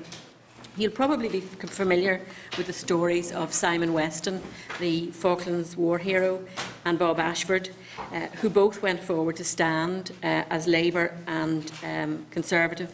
uh, Simon Weston as Conservative, Bob Ashford as Labour candidates for Police and Crime Commissioner roles, uh, and both were uh, required to withdraw from that because of minor convictions which they acquired uh, under the ages of 18.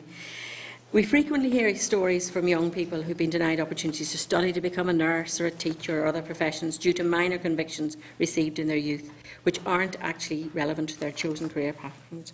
We all know young people uh, who've been influenced by their peers, and too often young people enter the youth justice system who've been in the care system and may have had a troubled start to life. We don't want to continually punish them for an unwise decision they made as a child. This is an issue we hope to discuss with you in more detail in the coming months, uh, though of course we're happy to answer any questions today. Our responses to clause relating to fines outlines a number of concerns. We're clear that the defaulting of fines imposed um, for minor matters should not result in imprisonment, and this is clearly a disproportionate punishment. We welcome the practice that this is currently paused and are disappointed the policy hasn't yet been formalised, and maybe that's something that should be included in this legislation. We're known, we know we're not the only uh, people who are concerned that we regularly hear stories of police and prison officers who actually act to pay off small fines to stop people going into prison. With regard to the proposed prosecutorial fine, it's critical that the circumstances for disclosure of these fines are disclosed. This is at, at heart a diversionary measure to take people away from the criminal justice system, and any form of a record of that fine um, that would in the future be disclosed to employers would in fact uh, constitute and would undermine the diversionary aspect of the disposal. We raised a number of other um, points in our responses, including the importance of avoiding unnecessary delay, but critically without compromising justice, as well as recommending that the families of those who offend who are, or who are alleged to have offended are recognised as silent victims. Consideration should be allowed, uh, should be given to all of those affected by the criminal justice system, including indirect victims left to navigate the system alone. We're particularly concerned at the impact of the justice system generally and imprisonment particularly on the children of defendants. We recommend that these children be given the opportunity to submit personal impact statements to the court alongside the victim's personal impact statement to be considered by the judge when sentencing. This is something that is already being explored in England and Wales and being well trialled in Scotland. We work with families affected by imprisonment and recognise the impact it will have on those left behind, and we therefore call on the committee to recognise these families as indirect victims of crime and have a similar need for information and support to cope, with the justice system. In conclusion, we welcome the opportunity to share our views and our experience of our service users with you today. We want to say we want to emphasise that the current criminal justice or criminal record system isn't working as well as it could, and a mechanism to remove old and minor convictions from the record is needed. Secondly, we want to highlight that imprisoning people for fine, for fine default should be formally stopped. And thirdly, that crime has indirect victims too, namely the families and children of defendants. There are a number of concerns outlined in our response, um, and there are many elements of the bill that we welcome. We've recently written to the committee to invite you to hold one of your meetings in our Belfast office, and I hope that will provide us an opportunity for us to meet uh, some of our staff and our service users and to learn a little bit more about the variety of the work that we do. Uh, in the meantime, I hope our comments assist you in your considerations, and we're happy to answer any questions. Thank you. Thank you. Um, obviously, NIACRO didn't comment on some of the sections we previously covered, so we will relate them to those that NIACRO have commented on. And the first one's section three around prosecutorial fines. Um, and obviously, um, you made the comment about um, those who don't pay fines trying to, to keep them out of custody, and that, that's something I think most people share. Um, eh, in, terms of the, the fines in itself, have you any thoughts about um, how those could be more restorative in nature? Well, I think that's exactly the point. Um, very many fines, as you will know, are actually for quite small quantities. So it's not actually the amount of money that's so important. It's the measure of trying to regulate behaviour and say what's acceptable and not acceptable. So uh, in our view, um, certainly um, if, if we've passed the first fine and we're now starting about a pattern of behaviour for which fines will continue to be given, uh, we think it would be appropriate to have something. Um, we believe the supervised activity order is a model that's useful uh, to look at ways where people can actually pay back in a different way something to society. So absolutely uh, recognise the restorative approach uh, is, is what's required.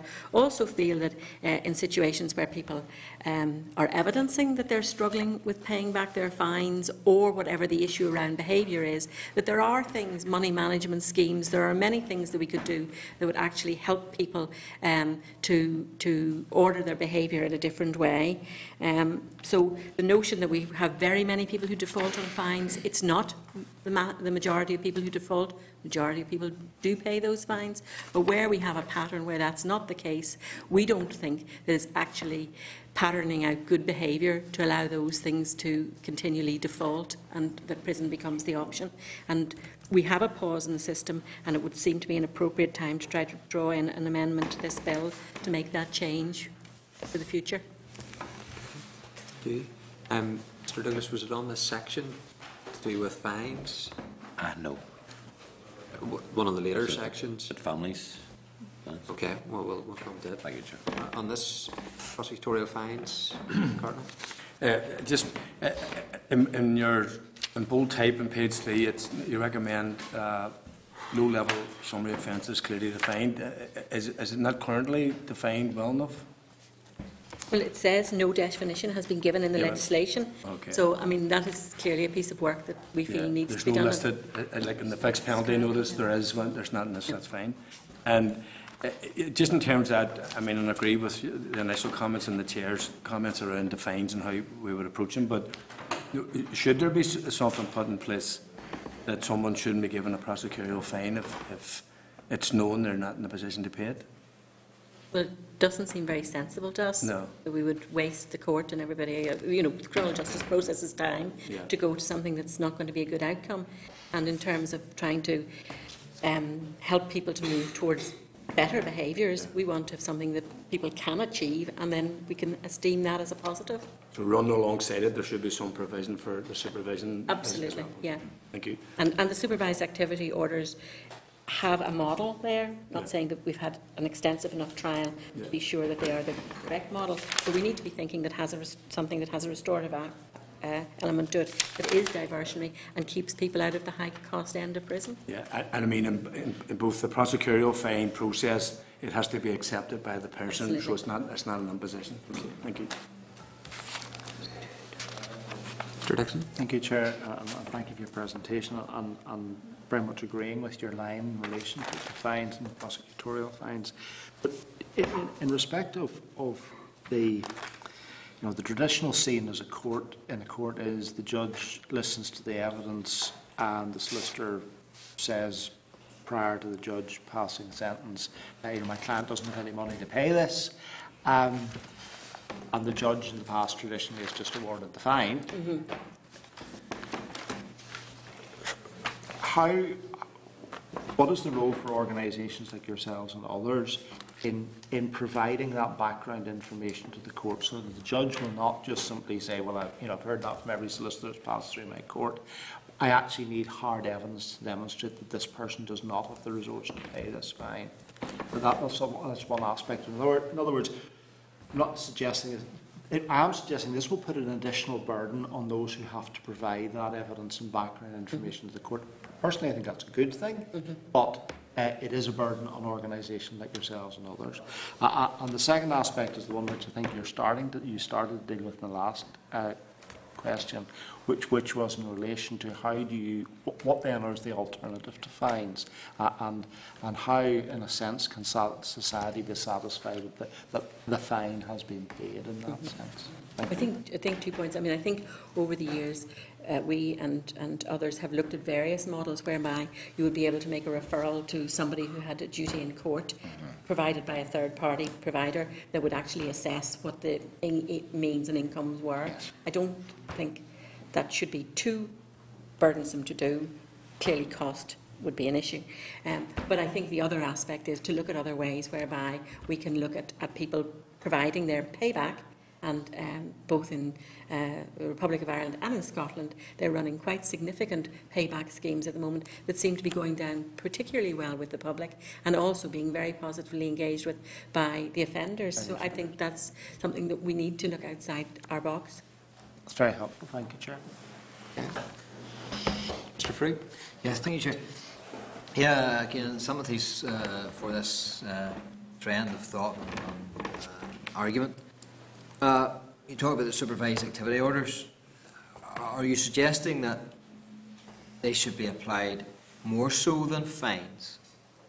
And then are you also suggesting that they should be applied if the fines aren't paid?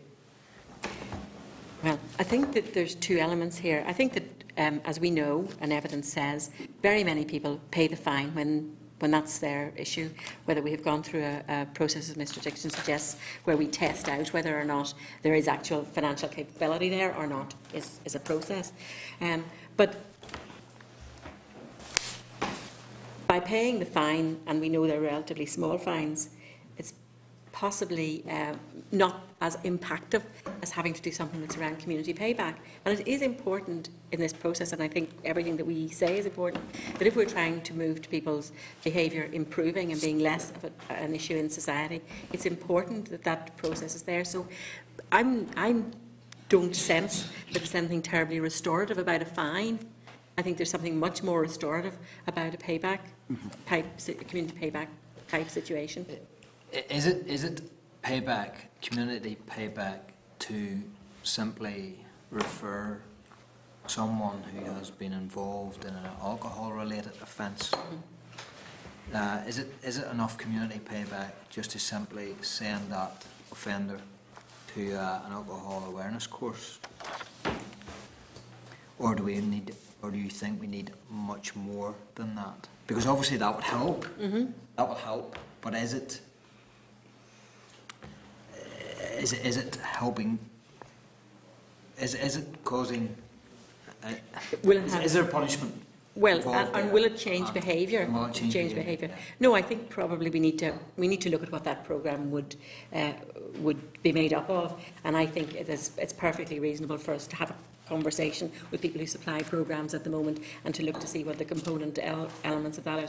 But just to look necessarily at your own um, your own behaviour in terms of alcohol management may not be enough in that case. So I think we need to make uh, those types of issues more testing. Clearly, if we're going to end up putting somebody in prison for, for you know, three, four, five days because they default on the payment, we would end up costing the system £3,000. Yes. So let us look at what we could do, probably for a lot less cost that might have much higher impact. Is there a scale or range of supervised activity orders out there? Excuse my ignorance on this. But, Well, we have trialled some uh, elements here, um, and I, I don't think that we would have think that as yet the trials are extensive enough. Thank you, Chair. Okay. No other members in this section? Then victims and witness section. Members, any comments? Mr McCartney? just a number of points, and it's again to your, to your submission. In terms of, and we, we spoke about this earlier, just in terms of the, the type of offences, how, how they're, they're defined. Uh, In terms of the meaning of a victim, you know, no, I- I mean, I would be sort of in broad sympathy of what you're saying, but it, it, it's difficult. Then when, when does it, when is it defined? Who is the victim? You know, and, and, and that wording, you know, indirect victims and all that, it can lead to a situation which would be very hard to put, say, in the legislation. So how, how do we pin that down, so to speak? Well, uh, by indirect victims, what we really mean is that every time somebody is accused of an offence or every time somebody goes to court, there is a family behind who's impacted just as much by the criminal justice system. Um, recognise that the Victims Charter is coming from the EU directive, so we realise it might not be possible to include in this scope. But uh, the Charter outlines a list of provisions for direct victims of criminal conduct. What we're saying is many of those provisions would be just as applicable and just as needed by indirect victims. Things like being treated um, with courtesy and respect, being updated on processes, and uh, being having the court system explained to them in our experience, the families of people in prison and the families of people going through court that we work with could also benefit from that kind of advice. And, and it would be a process that they would, would make it known that they wish to be informed of all that things rather than an assumption made that you have to inform. Well, I know under uh, the Victims Charter they're compiling an easy read sort of leaflet so that every time um, somebody reports a crime, a leaflet is given to them. There wouldn't be any reason why a similar kind of leaflet could not be given to the family or the partner of somebody who is arrested to explain what happens next. Um, we have instances where, say for example, a father's been arrested and the wife and the children are left not knowing when they're going to see them again, where he's been taken to, how they can visit, things like that. Thank you. And in terms of the, the effect of non-compliant, uh, we recommend that stringent measures are put in place. What type of measures do, you think could be put in place in terms of making people comply to the charter? Um, I think that's something that needs to be explored further. Um, we recognise that there's no criminal or civil proceedings would be brought against any agencies for non-compliance, um, but that it may come up in court. Uh, what we're basically trying to say is that there need, this needs to be emphasised that it is important that all the agencies apply to it, that it's not enough to just have a charter, it has to be implemented properly. Okay, and in terms of the, the, the sort of impact statements, in bold, they're saying it, is for this reason that we recommend that the OJ introduces clear guidelines and regulations as to who can access the statement. Do you think it's too narrow at present or too broad? Who's access? I think it's too vague. Too vague. Um, there- there needs to be a duty of care there to the victim, and um, we're proposing also that children have an option to uh, submit impact statements as well. Uh, I think there needs to be a finite list of agencies and people that that can be shared with to protect the victim. Okay, thank you very much. Thank you. Okay. Other- Mr Douglas? Thank you, Chair, and thanks so much for your presentation so far. Um, Julie, this is following on fr- from what uh, Rima mentioned about the, the, the meaning of a victim. So, um, first of all, at this point in time, you agree with the definition um, of, of, a, of a victim? Uh, yes, but we want it expanded. Uh, we believe that indirect victims should also be acknowledged as victims of criminal conduct. Okay. Uh, I suppose when I was thinking about this, I was thinking, you know, during the troubles, I've known a, a lot of people, including people within members of my own family, who, you know, when their sons or fathers went in- into prison, you could see how they were doing the sentence, and- and that as, well. Um, and you say that they include all those impacted by the offence. Uh, what do you mean by all those? Uh, because when I look at, I look at, say, my mother, my father, my, my brothers and sisters. Uh, what, what do you mean by all? Uh, well, specifically, family, family members of the person in prison or the defendant, although the reason why we use that terminology is because you may not be living with family, you may be living with a friend or a partner. Understand. So we didn't want to limit it to blood relatives. Okay, thanks very much. Thank you, Chair. Okay. Sorry, Mr Frew? just on, uh, if we can expand that uh, argument, logic with regards to the uh, indirect victims and family members, and, and I can understand the rationale and um, as, as Sam has suggested. Uh, where's the definite? Where, where's the line being drawn? Uh, because obviously, if your if your father gets arrested, uh, it'll be this, the, the children and the wife. Uh, if, if you're a, an 18, 19 year old still living at home, your brothers and sisters. Uh, but if you're a 30 year old, your brothers and sisters will not be impacted the same as if they were in the same household. Where, where, where do you draw the, you know, the extended family line? Where, does, where do you stop? No, well, I think what we're talking about is those people for whom having the relative in prison would have a, a serious impact. So, I mean, you're right. Uh, as people grow older, their relationships, perhaps with their siblings, will be less. So, um, but the, there are two key things we're balancing here. Is one, we are we are really thinking about children, and that's where it's being trialled in England, Wales, and well in Scotland, and that's really to take account of the research that suggests that outcomes for prisoners' children are poor. And the breakdown of that relationship is one of the things that, that's unhelpful in relation to that. And the other element is we know again from research that actually for the person in prison, be it mum or dad, and, and again it's mostly in those sort of circumstances, the outcomes for them are better if they stay in contact. So it's, it's we have a, a, a- child at heart process around the child input, but, but we're also being a little bit more selfish in saying we also want to know that there's going to be about a good resettlement outcome and somewhere where relationships will be sustained over the period in prison through good visiting arrangements, good contact visits, and, and maybe special arrangements being made where children maybe find it hard to travel or whatever. That's what the impact would be about trying to maintain the con- doesn't necessarily change the sentence, but it says what about the circumstances of the sentence could we make better? So keeping somebody, say, at Maghaberry or transferring somebody to Magilligan so it's easier to visit would be the types of outcomes we'd be thinking of. Yeah, thank you for that. Uh, massive issue that it may be, uh, and that is the the, the spiral uh, of crime uh, with uh, younger people following in the footsteps of their parents. Uh, I think we met with the probation board uh, a couple of weeks ago, and you know there's this Cyclical, yeah. cycle uh, of children entering crime and, and then ending up in prison alongside the father or mother in some cases. Massive issue, of course, but is there any way that it can be help can be dealt with or tried to be dealt with within the face of this bill? Uh, well, within the face of the bill, what we've found is communication is a first important step, updating the, the family, and who in turn can update the children about where, say, for example, their mother or their father have gone, when they're coming back, when they can visit them, and help facilitating those visits if it's appropriate. Um, as Olwen said, those, we find that those visits not only helps the person in prison in terms of facilitating their own desistance and stopping them, uh, their offending behaviour, it can prevent um, the young person developing that offending behaviour themselves.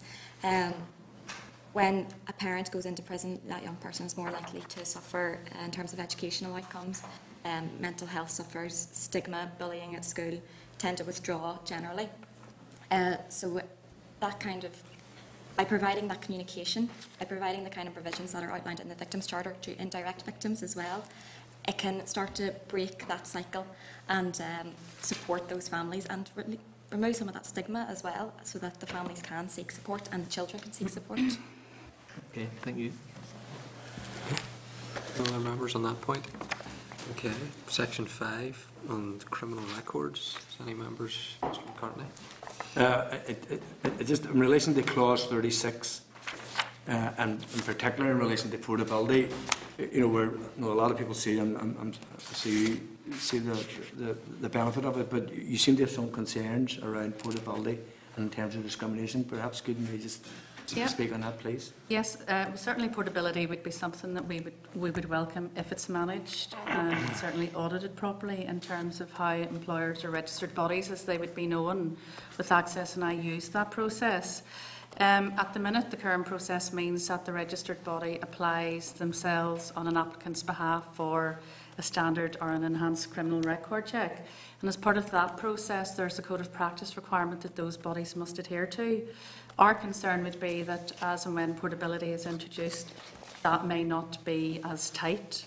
Um, not that we're saying that it is particularly tight at the minute, but there could be opportunity for those employers perhaps to um, maybe disregard that code of practice and just use it um, probably more so than it's used already to discriminate against people unnecessarily because of a particular disclosure.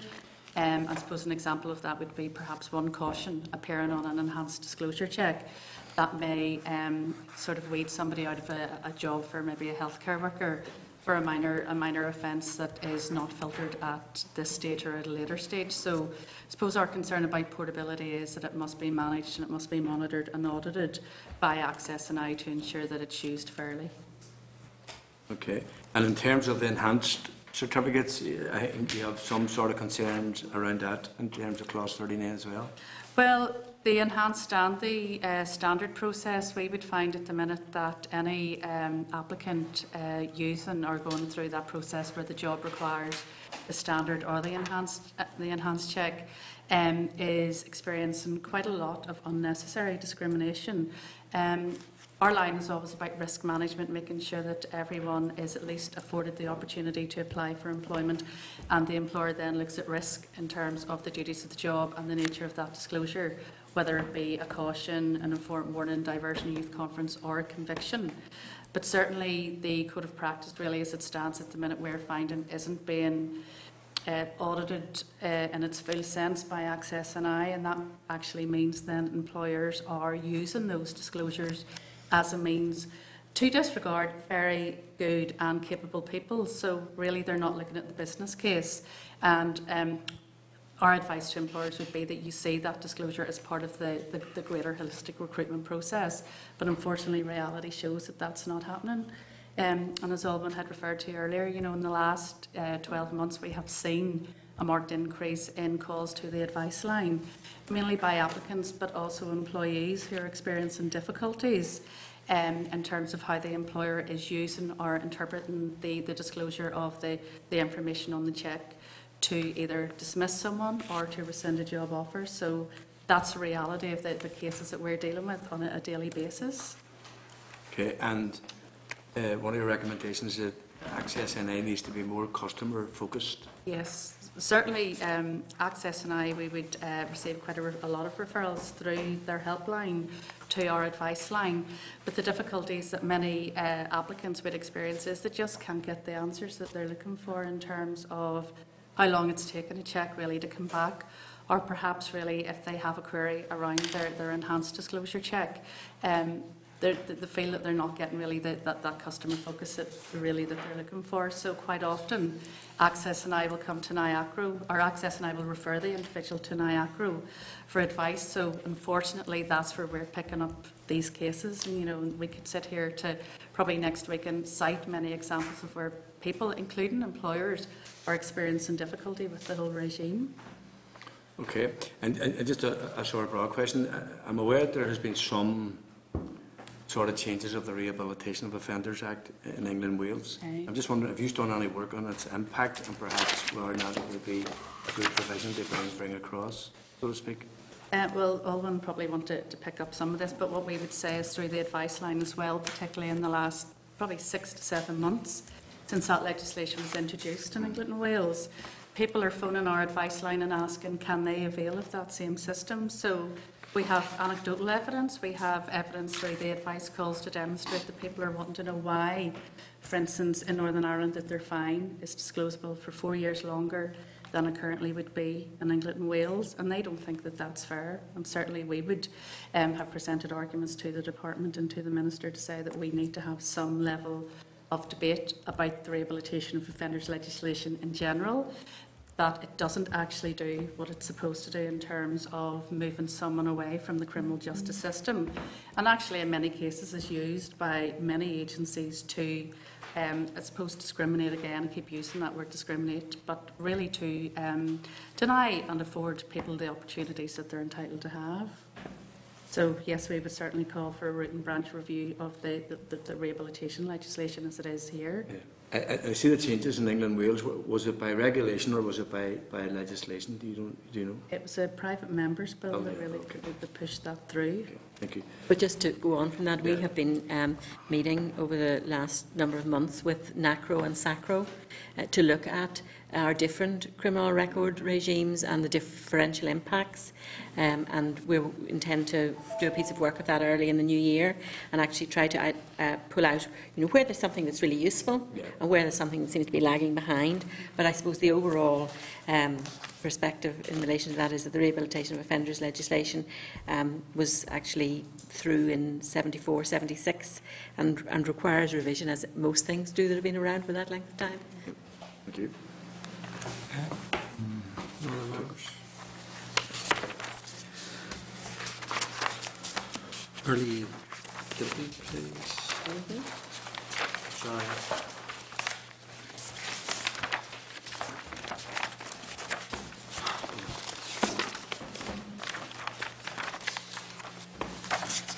Any members on the early guilty pleas issue?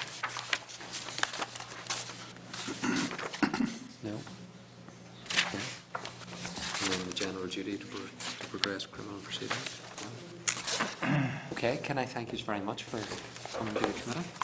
And can I just uh, thank you for that and also uh, remind you of our invitation to you? We really would like to see you, if we can, early in the new year, so thank you for that. Thank you.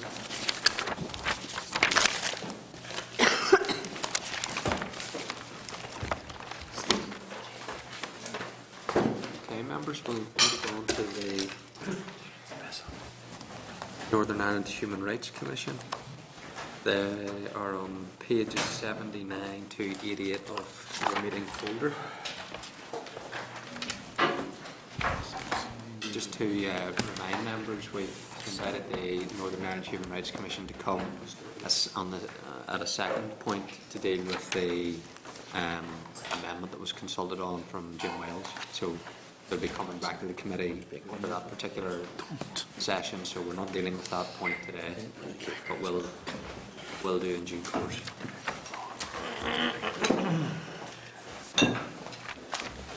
Sorry.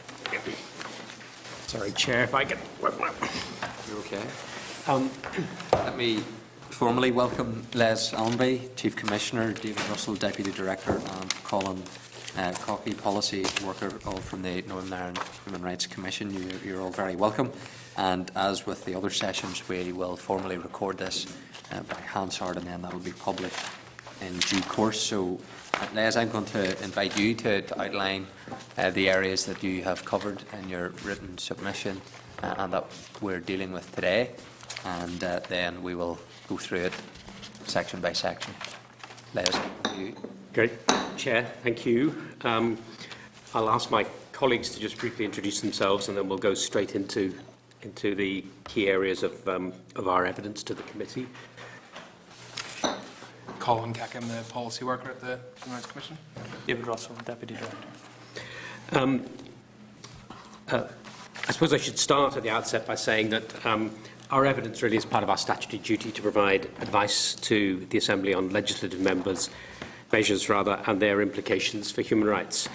And I will concentrate on the kind of key areas where we have had something to say in our submission.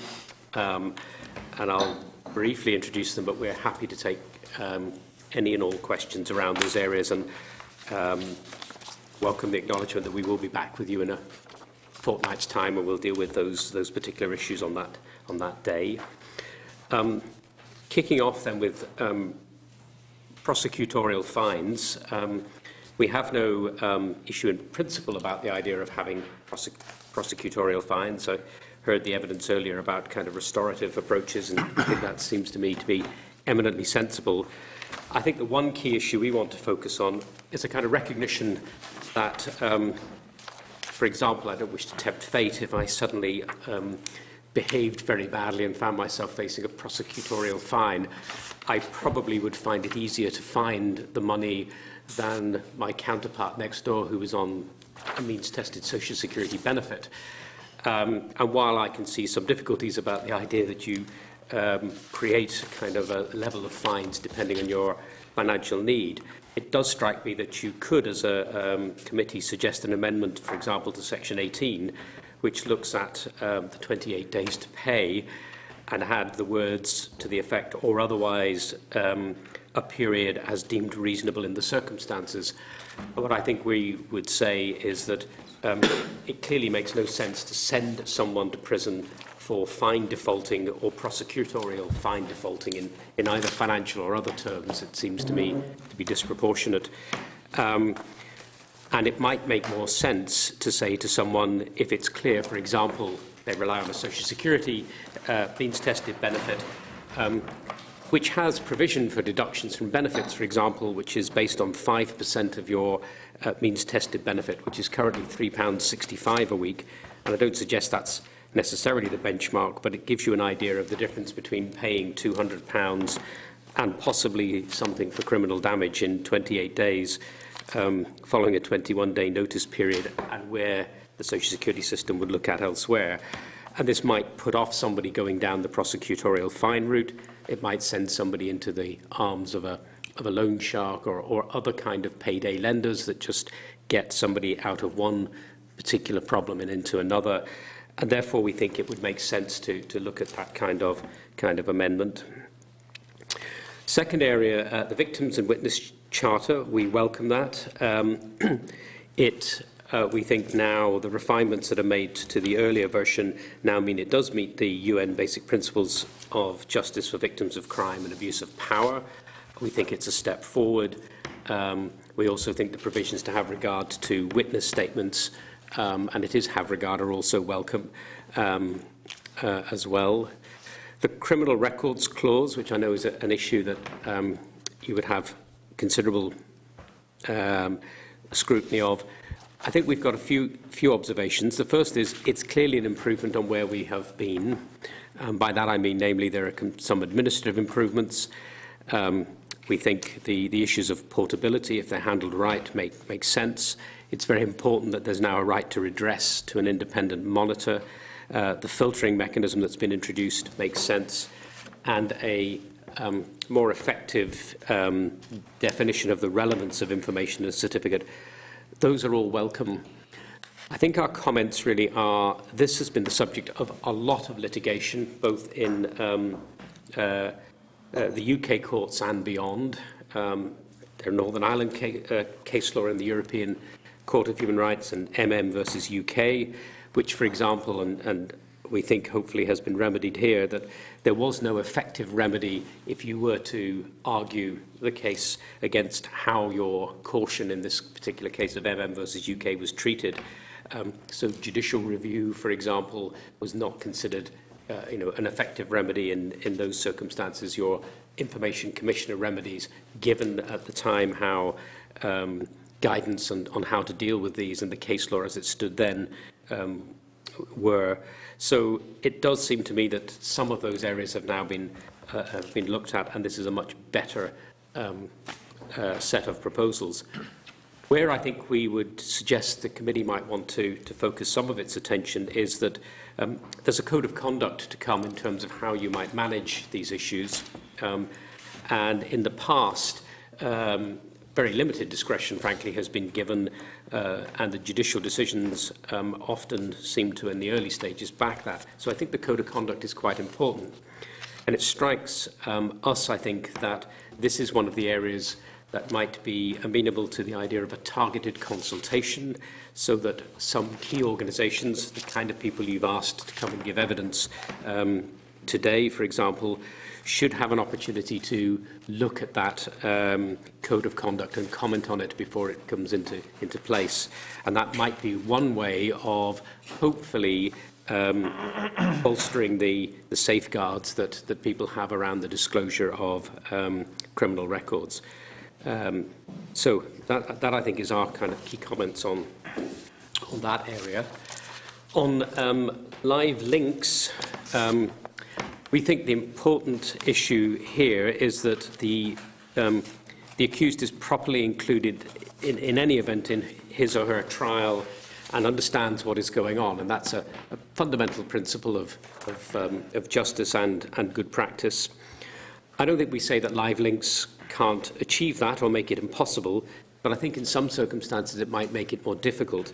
And therefore, if this is to be introduced, and we understand all of the kind of administrative and financial advantages to doing this and, and the kind of notion of uh, weekends and bank holidays or in certain um, prescribed circumstances. But we do think that you need to look at this very carefully. Um, the legislation talks about it mustn't be contrary to the interests of justice.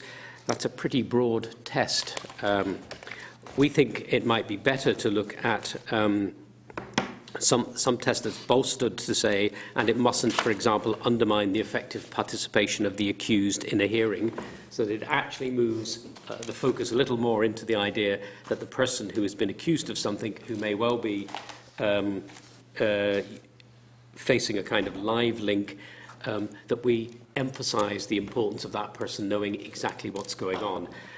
Note the technological um, safeguards within this and, and welcome those. But as, frankly, I suspect everyone around this table knows, you can have everything from technological problems that kind of are so severe that you absolutely know that um, there's no way that you can carry on, and it's clear that, that those kind of safeguards are in there, to the lower level problems of not quite hearing what's going on, the picture coming and going, that perhaps isn't to the severe end of the, the scale, but, but is still impairing the person's involvement in the proceedings. And I think we'd want to see uh, and be sure that those kind of lower level gremlins are also provided for in safeguards and, and therefore that's, that for us is, um, is important. Um, violent offences prevention orders. Um, the Commission doesn't have any difficulty with those as a, as a concept.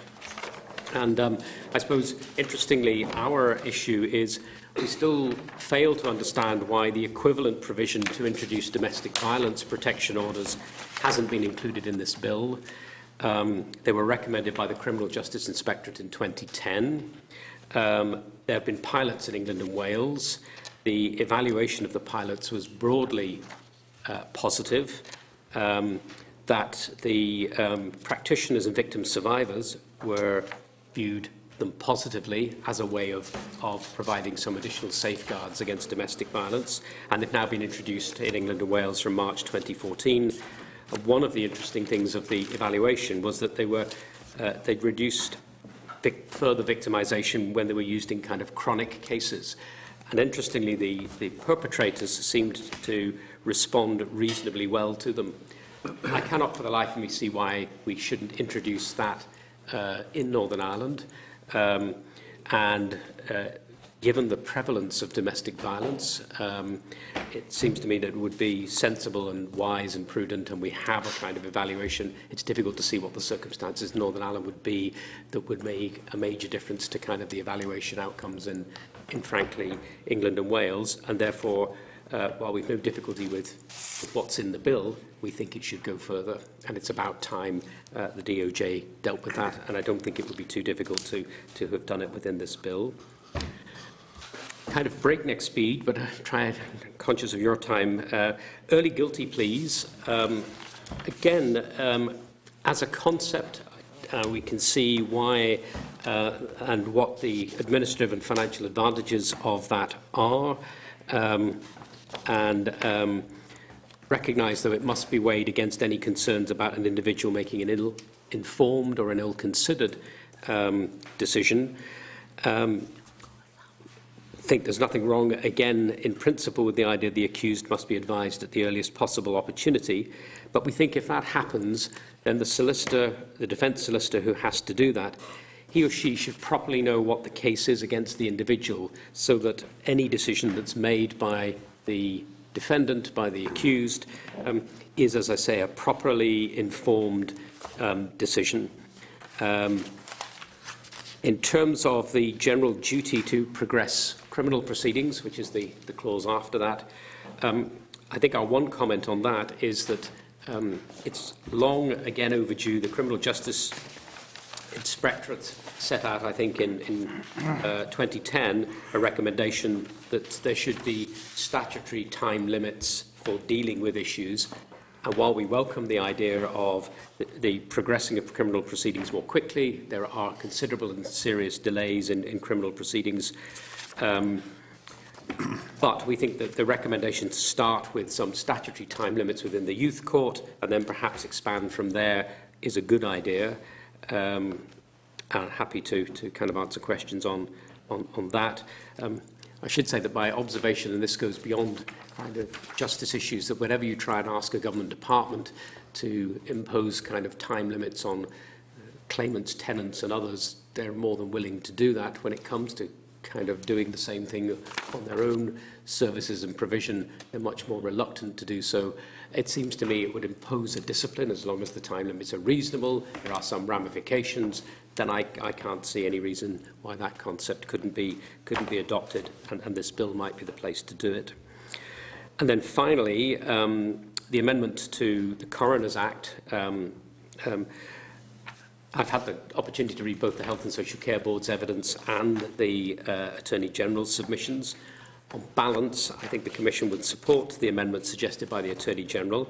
I think it strengthens Article 2 safeguards um, around, which covers clearly deaths um, caused by alleged um, medical errors.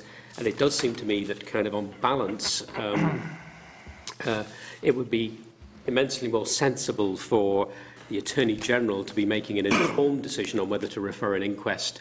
The idea that kind of the Attorney General refers an inquest and then more evidence comes to light and then the Attorney General goes, well, if I'd had all that before me, I wouldn't have referred it in the first place, doesn't seem the most sensible way um, to proceed in terms of um, administrative, financial and other resources. So on balance, we think it's better that the Attorney General has the information uh, that he needs and then can make a, a, hopefully a proper and informed decision and then uh, the coroner can proceed from, from there.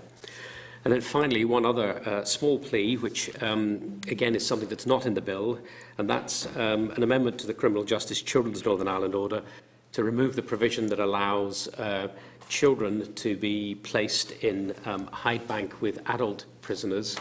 My understanding is it doesn't happen at the moment, but the provision is still there to do it. And I think it's time that actually uh, that should be taken, uh, that provision should be removed um, so that there is an important principle here that under no circumstances should children be placed in, in prison with, with adults. So on that basis, I shall draw breath and um, happy to take, and colleagues, happy to take questions. Okay, thank you very much, Les. Um, first section that we'll deal with was uh, the prosecutorial fines. Is there any member who wants to ask anything on that? Mr. McCartney? I mean, I think that in, in, when you were speaking to it, in terms of clause 45, I think your, your view is it should be amended that, that you know, I mean, the prosecutor should have regard to the circumstances of the offender.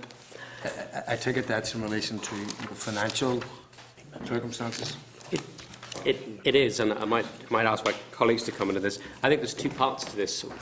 There's that, there's that change, but it struck me that if you've only got 28 days to pay this, then you need to put something in there about the level of time to pay. And I think what, I think what we're saying is that the idea of if you, if you decide to choose to, to go down this road of prosecute, prosecutorial fines, the impact it has on somebody who's got a very reasonable income is relatively limited. The impact it has on somebody who hasn't is, is, much, is much more substantial. But if the person has got a long, if, if you've got the flexibility to allow a person to pay that back over a longer period of time, then that might be much more attractive to the person yeah. um, uh, in order to do that. And I think there's probably two, two sets of amendments there. Yeah. But I- I mean, the- the sort of, if, if they are said of that, but if- a person then, say the prosecutor makes a decision on that, and then they're charged and they go on the open, the open court system, then they might feel that they're being disadvantaged simply because someone's made a judgment that they haven't got the means to pay. So how do we protect ourselves against that? Um, well, I, I think um, this is a voluntary provision, so I, I have to say I hadn't kind of thought of it in those Yeah. terms, because, um, and that's why I kind of perhaps the, the amendment to Article, Article 18 might be useful too. I had seen it more in terms of being able to say to somebody, look, uh, here is this option here, not to not offer the option because you're on benefit, but actually to say we can be flexible here. Uh, not that you've got an interminable period to pay, but a recognition that rather than saying to somebody, here's an option, you've only got 28 days, you've got no savings, you're on benefit, how are you going to find that money? You know, unless you've got family or some other support, you're going to struggle to pay it. Again, so it seems on the balance, that's a better way of, of dealing with it. But allow the person the choice and don't take the choice away. by the pro- Oh, This is I- not attempting to try and say that only kind of hypothetically the middle classes should be offered this pro this provision. It's not. We're not coming at it from that from that standpoint. Okay, thank you. Thank you. More on this one, um, victims and witnesses. Any members have any questions they want to raise on that one? No. Criminal records. Are there any questions on criminal records aspect, Mr McCartney? Uh, It's, it's in relation to uh, uh, paragraph 17, your, your sort of bold type, your recommendation. Uh, The independent members, uh, how will an individual apply? Uh, the- the- In addition, the commission advised that the committee asked the department if proposals were... I'm just, I'm just wondering, uh, what do you think is the best way a person should be able to apply for independent monitoring? Well, I suppose it, there, there are kind of two or three things that strike me immediately about making this meaningful. One, it must be very clear you have the option, so it must be very widely publicised. It must be clear to the individual so that he or she is aware actually of the provision um, that's available. Two, you would need to see what powers you're giving the independent monitor and kind of what um, the kind of terms of reference he or she has, the powers he or she has. Um, there's a kind of devil in the detail here in terms of, of how it, it, an independent monitor of itself is potentially a really uh, important safeguard. How effective a safeguard it is depends on exactly what powers the independent monitor has, how he or she is allowed to exercise them, what degree of, of discretion is there, um, the resources to deal with these these cases properly. I don't I don't expect to see thousands of them, but it's again the, it's it's those kind of issues. Um, Colin, I don't know if you want to add anything. Yeah, just, to just echoing the Chief Commissioner's initial comments, actually the person has to apply in writing to the independent monitor, so um, a person might need some assistance in, in writing that if it's a person with a, a disability, for instance, you know, just making sure there's some um, advice and assistance available to persons that wish to make an application. Okay, thank you. Okay, members. Live links. Is there any questions on the live links issue? Mr McCartney? On the bit of a sword Again, I, I- I'm not sure if you heard, uh, I think it was the Children's Law Centre, and, and you've made a number of points about, uh, you know, I think one of your sentences reads, there is no obligation to, ensure- there is no obligation to ensure the individual is able to effectively participate in the proceedings. The idea of informed consent, as, I, I don't think you were here when Children's Law Centre, but they talked about informed consent in all aspects of live links. I'm just wondering what your view of that is. I wasn't here when the, the evidence was given earlier, but my immediate reaction to that is to say it, it um, makes immense sense. The question then becomes, how do you make that genuinely informed consent, and what is it you do to, to do that? Um, but it seems to me that that would make a great deal of, of sense. I mean, I, I think one of our concerns is the idea that, for example, if it's a weekend or a bank holiday, you know, there's the issue of kind of, you know, how easy is it to have all the resources to get you to court to, to do a kind of face-to-face hearing? So let's look at live links. Um, it, it does strike me that how easy it will be for you to access as the person um, to get to see a solicitor at weekends and bank holidays. Not impossible, but again, much more difficult. So if a live link in some of these circumstances is you haven't had access to kind of proper, proper legal advice, you've barely met your lawyer. It, it strikes me in kind of very quick um, terms that you know, it's better to have a face-to-face engagement, for example, with your legal representative at the start of proceedings. I don't quite know how it works in a live link. That it strikes me that the informed consent is really important, and the other kind of safeguards that go with that are, are, are essential as well. So that while we're not against live links as a concept, we do think you have to make sure that all the safeguards are there. Again, I'm kind of look to my colleagues for comments on. Um, obviously, the Children's Law Centre's advice, but I'm guessing where they're coming from it is probably the Convention on the Rights of the Child, Article 12. So the participation element of the treaty is quite clear about the evolving capacity of the child being central to their participation. So the concept of informed consent flows directly from that. And anything that didn't take due cognizance of informed consent of the child, according to his or her evolving capacity, would risk being in violation of the treaty. But in terms of the first remand, you know, uh, are you are you making the case that uh, you know going from the Öcalan Tur- versus Turkey in the European Court to ensure that the arrested persons are physically brought before a judicial authority promptly? Are, are you saying the first remand should be held in open court rather than live links at the weekend? I think, and I'm going to extemporise here, um, I think our, I don't think our, I think our position is that that would be an absolute, but I, I'd like to see a safeguard that said you'd have regard to the kind of what the purpose of the first hearing is and the seriousness of what's, what's uh, the charge is and what the implications are of the particular, particular offence might all be had regard to in terms of whether you would then use a live link or not. And there might be some circumstances where, uh, rather than a kind of broad brush approach of, and, and I know it's prescribed in terms of where, you know, the, but even within the prescription, within the, the, the legislation, you might look further at whether it really is appropriate. And that's again about why we kind of suggest the participation, the idea of ensuring participation and involvement of the individual properly in the proceedings might be a further safeguard. I, I- I mean, I mean, obviously, this is now something which we're, and we were given no explanation about, uh, you you don't want people being left in police cells over the weekend.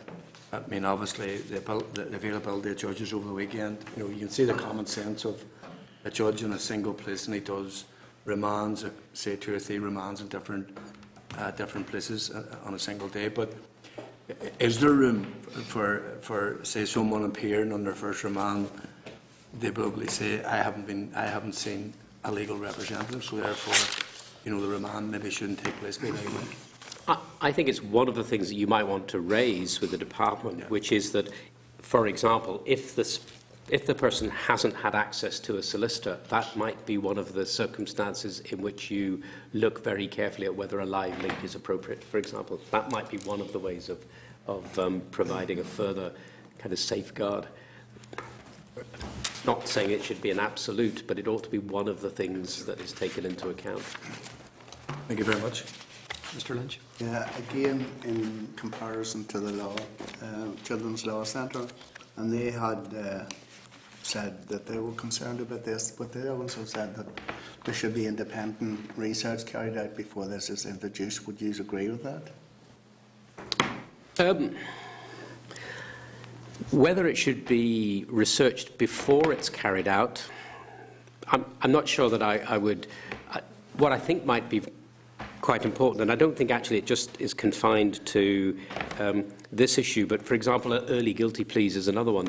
There ought to be a way in which we monitor actually what, how this rolls out in practice, and, and the early guilty pleas and this are both two areas where I think it would be very useful to have a look at the kind of the overall, what I might call cost-benefit advantages, because while I can see all of, from, from the department's, if you like, position, why the safeguards and the, uh, why, sorry, the benefits rather uh, of this in terms of economics and administration, etc., you want to make sure that it's proportionate to the, the impact it has and that the, you know, that the safeguards that are there to make sure that this is a, um, a, a kind of balanced and sensible way.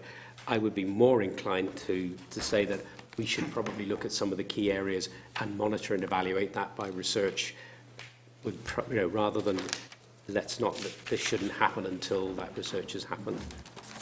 Just, um, I think it, the central point of principle in, in the Commission's advice, um, not commenting whether the Children's Law Centre, you know, obviously the more evidence you have about how things works, the better, um, is that without without legal representation and legal advice having been provided to somebody, that, that remand hearing really shouldn't be taking place through live link. It's not that the principle of the live link in and of itself, because obviously that would move to fulfil the Article 5 duty that came out of the Öcalan case. Um, it's the Article 6 provision with regards to fair trial and legal representation. The two things are balanced. And one shouldn't be at the expense of the other. Okay. On that point. Uh, violent offender prevention orders. Um, I, I noted that you were um, indicating you were content with uh, these orders being brought in. Uh, obviously, the the uh, Children's Law Centre has indicated that it shouldn't be applicable to under 18s. Uh, have the Commission a view on whether or not it should be applicable for under 18s? Again, I'm going to extemporise here, so I should kind of look to my colleagues in this.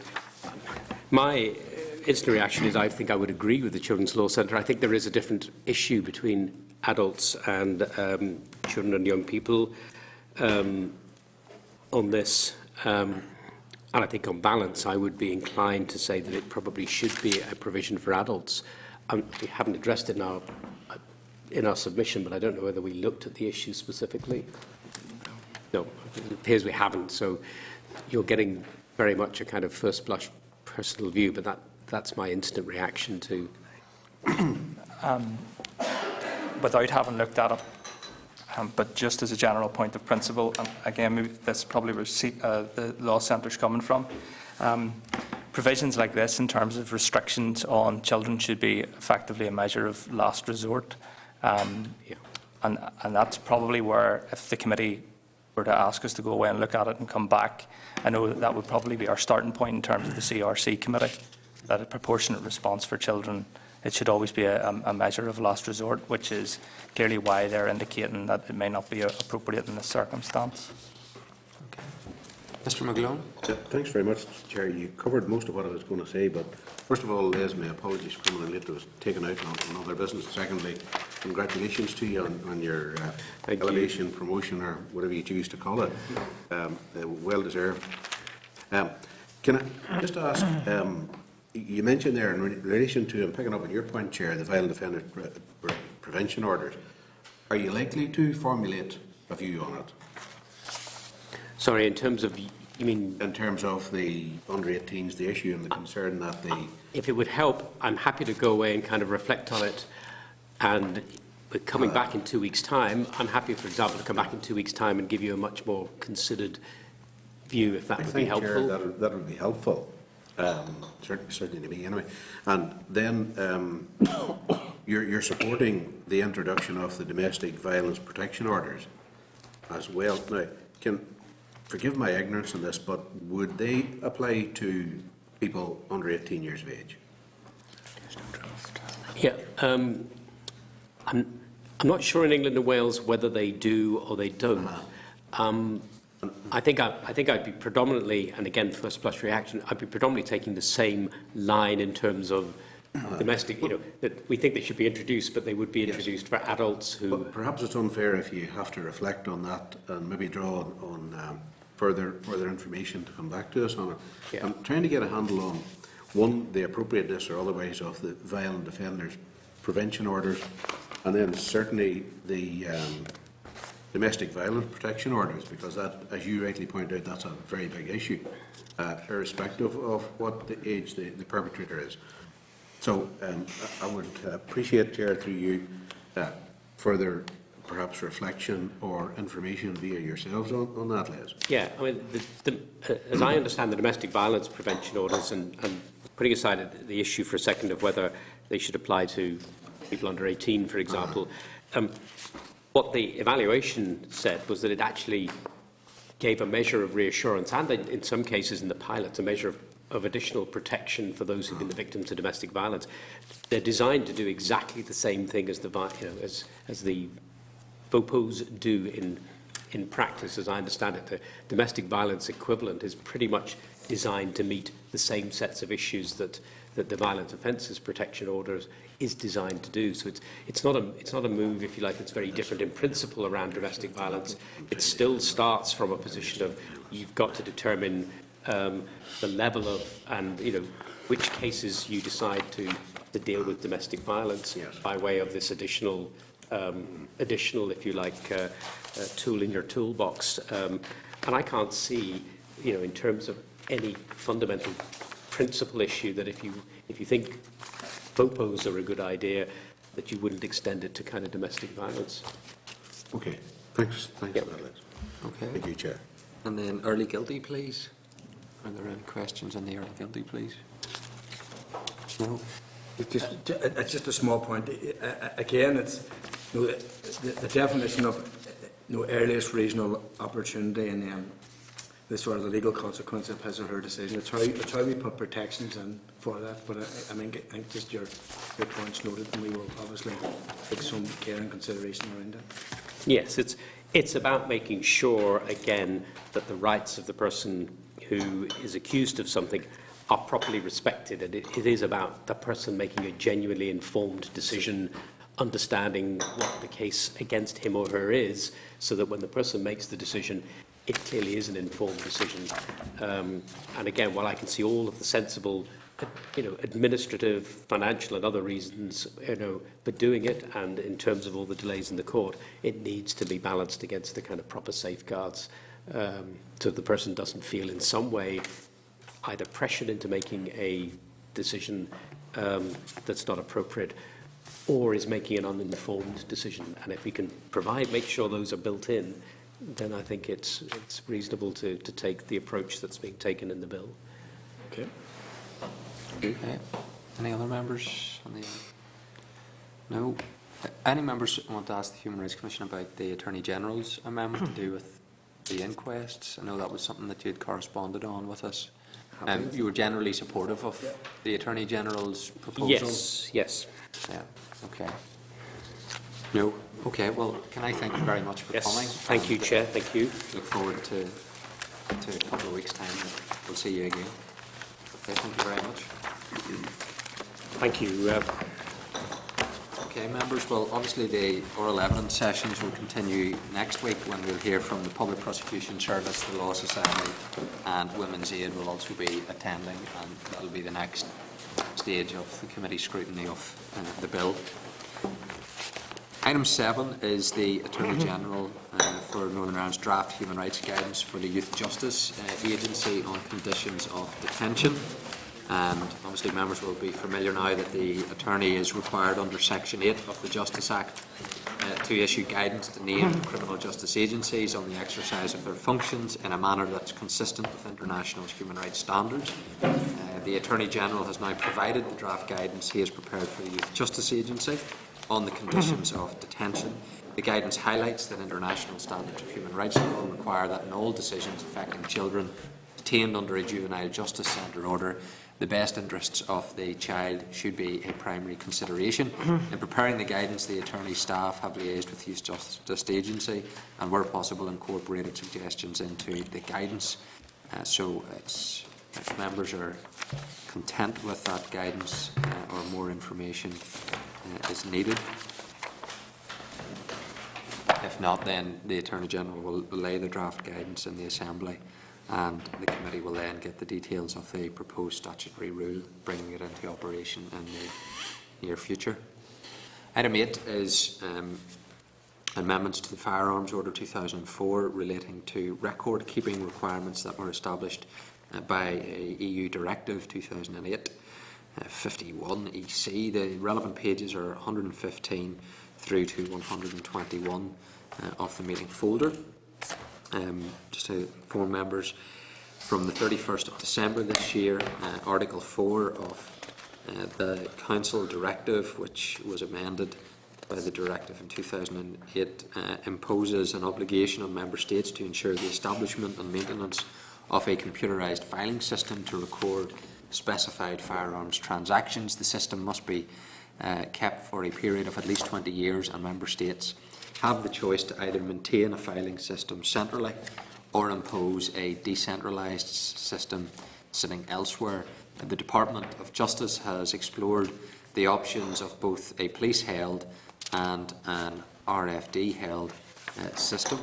Uh, on consulting with, deal, uh, with the dealers, they were of the opinion that dealers would be unable to assist.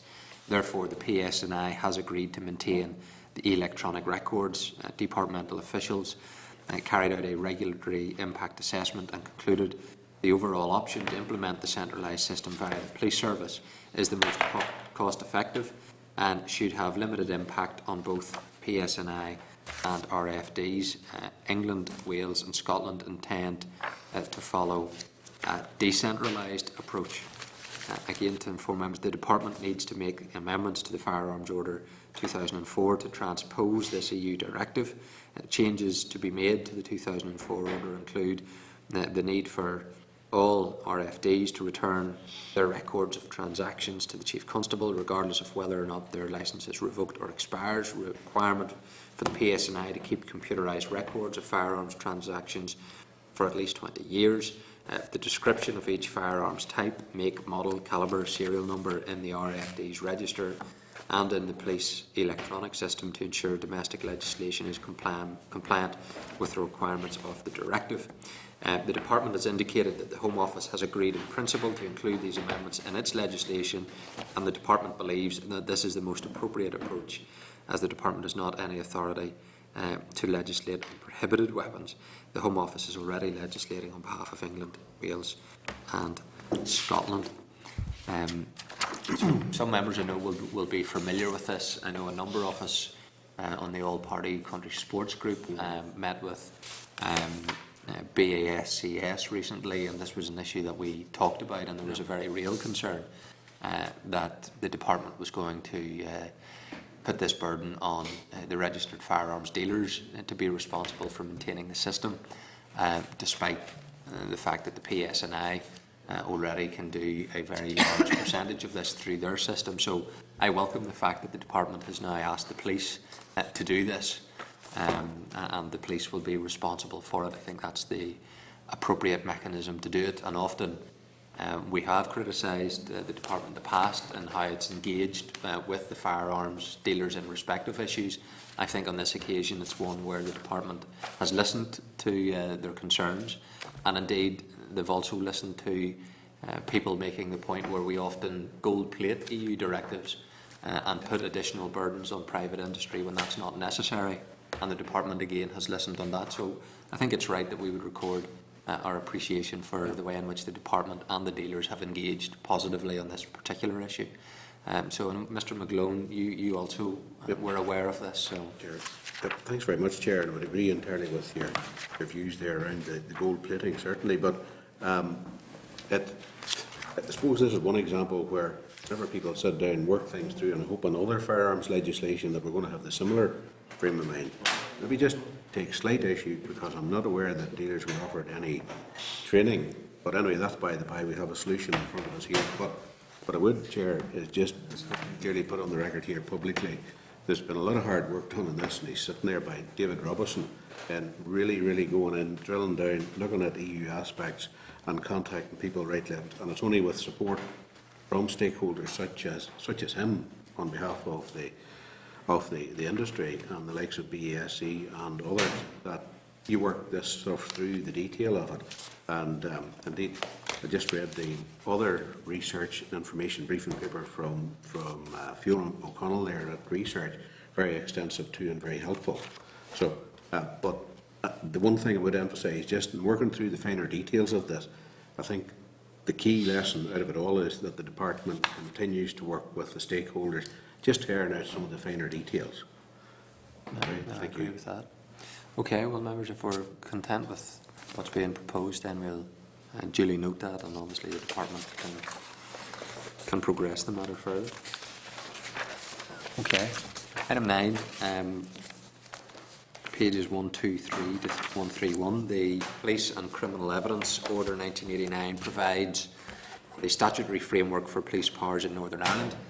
Uh, Articles 60, 60A and 65 impose a duty on the Department to issue codes of practice which regulate the exercise by police officers of these powers in the investigation of crime and set down safeguards and protections for members of the public. The Department has indicated that a refresh of the codes is needed to reflect current policing procedures and practices and to make formal provision for uh, an EU directive on the right to interpretation and translation in criminal proceedings. The Department's briefing paper provides an overview of the main code changes.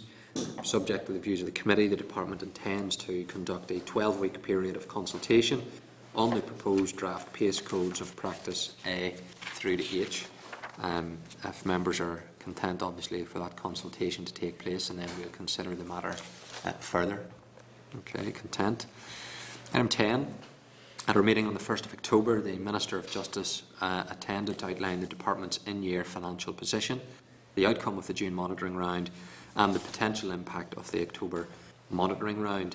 And the Department has now provided a briefing paper outlining the outcome of the October monitoring round. The Department received an additional 29 million for the PSNI and legal aid pressures, and there were no additional in-year cuts. The briefing paper outlines the net allocations the Department has made to the various spending areas and provides details of revised in-year total savings uh, for all spending areas. So that information is for members uh, before them. Mr Page.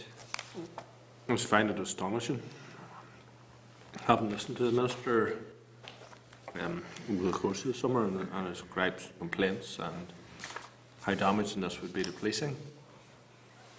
And we see that police gets 13 million and legal aid gets 13 million 200,000. And I see the background to it is to ensure that people get justice. Yet whenever the police are prosecuting, they're prosecuting with one lawyer, but the legal aid people are defending with two lawyers.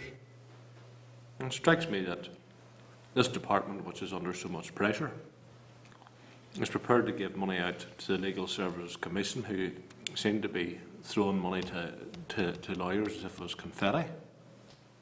Meanwhile, the PSNI still have to make massive and major cuts, and it really isn't good enough uh, with respect to the Minister that this is how he is spending the money. And uh, I think that the, the, you know we should be laying down markers. That this is not acceptable. The reform of legal aid is, is too slow, and the impact will be damaging uh, to the public who require the support of the PSNI, uh, particularly in dealing with crime and offences against uh, the vulnerable uh, in our community, uh, amongst whom are the elderly. Any members?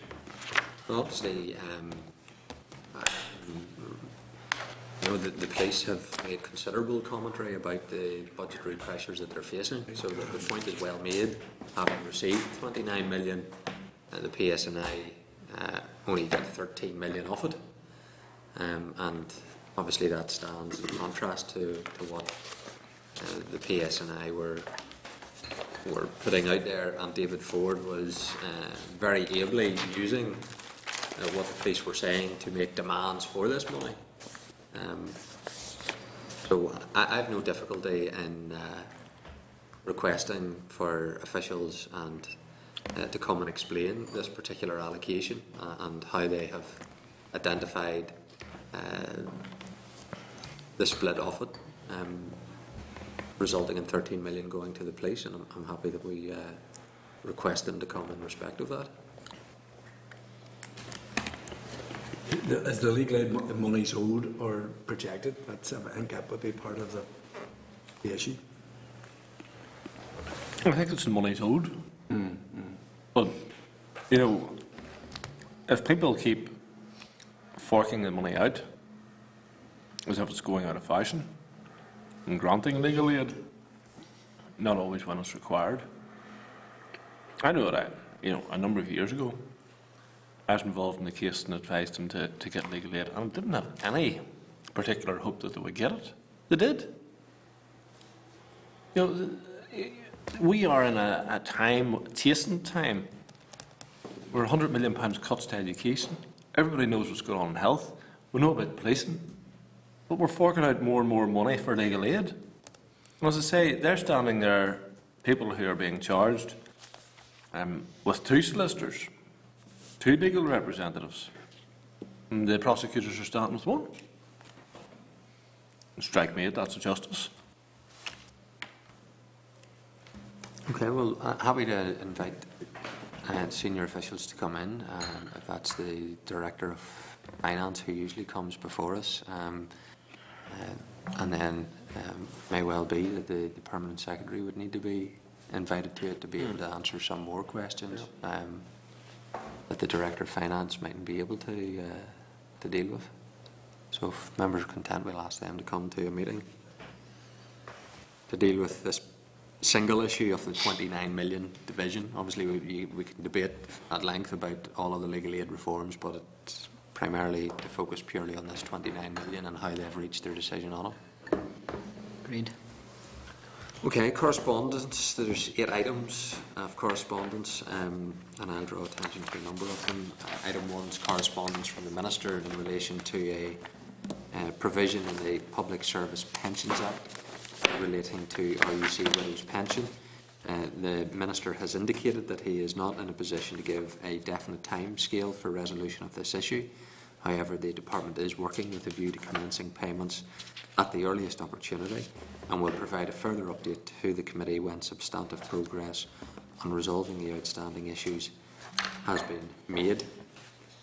Um, some members will be familiar with this particular one and fact that the Assembly voted on it and it should have commenced and uh, it still hasn't commenced and I know it's causing uh, unease amongst uh, those who are widows um, and it's something that should be resolved as soon as possible so uh, I trust we'll get a substantive response in the very near future in respect of this issue.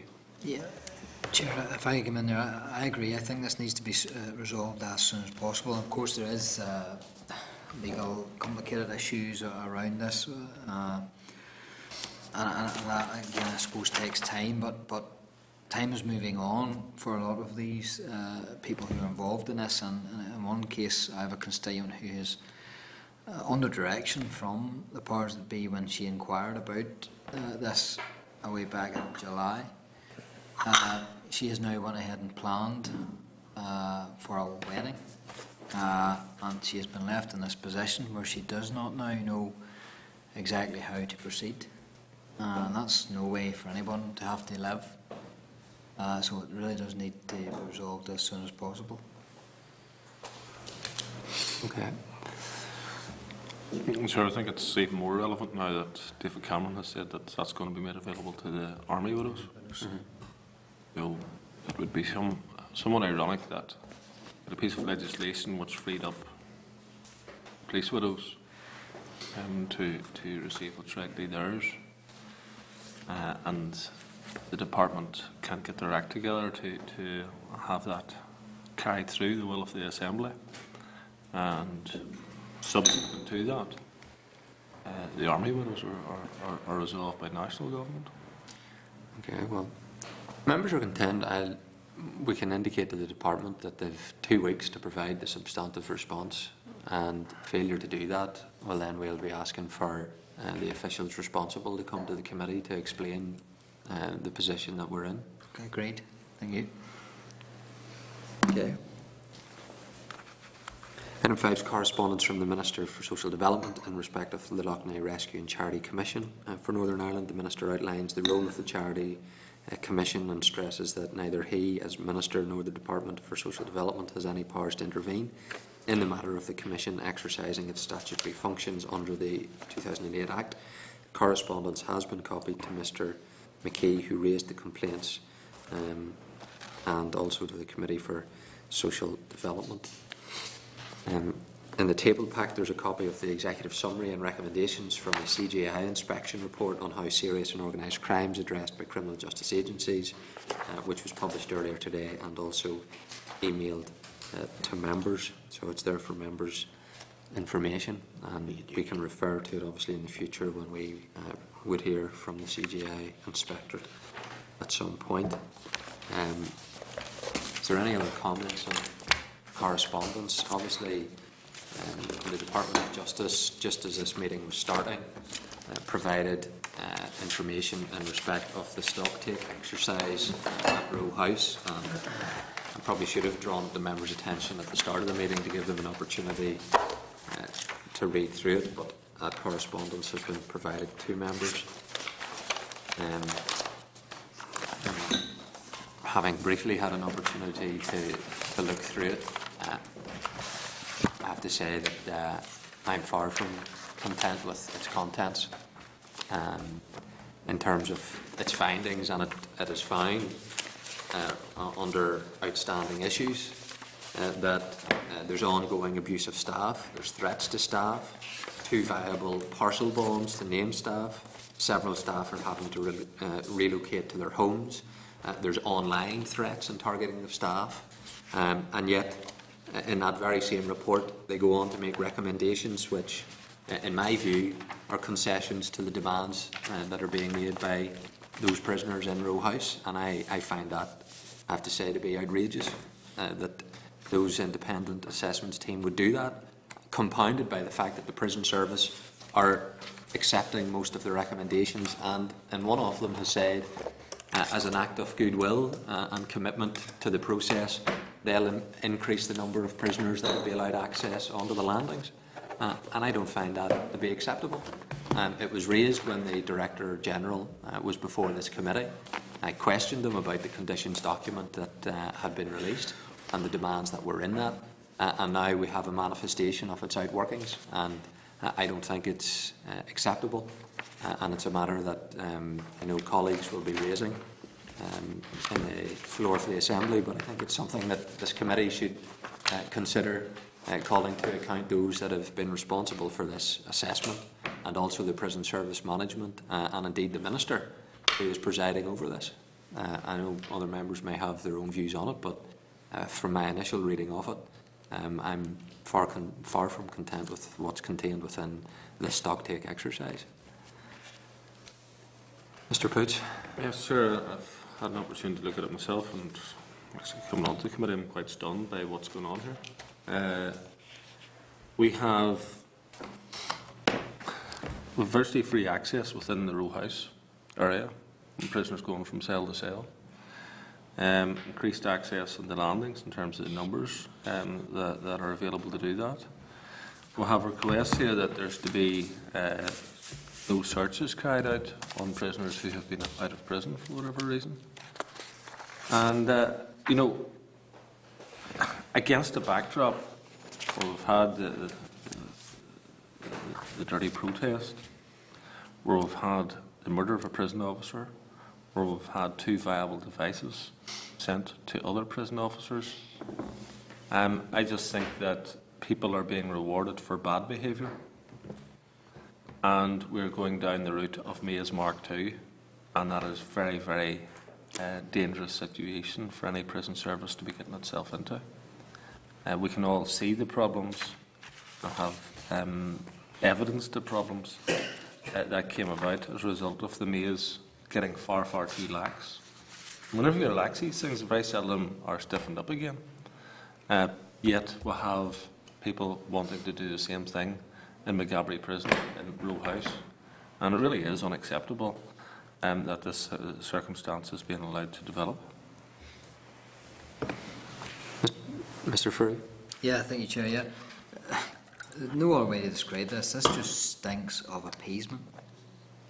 Uh, and that's the best way I feel I can put it. Uh, I, I don't see where this will end.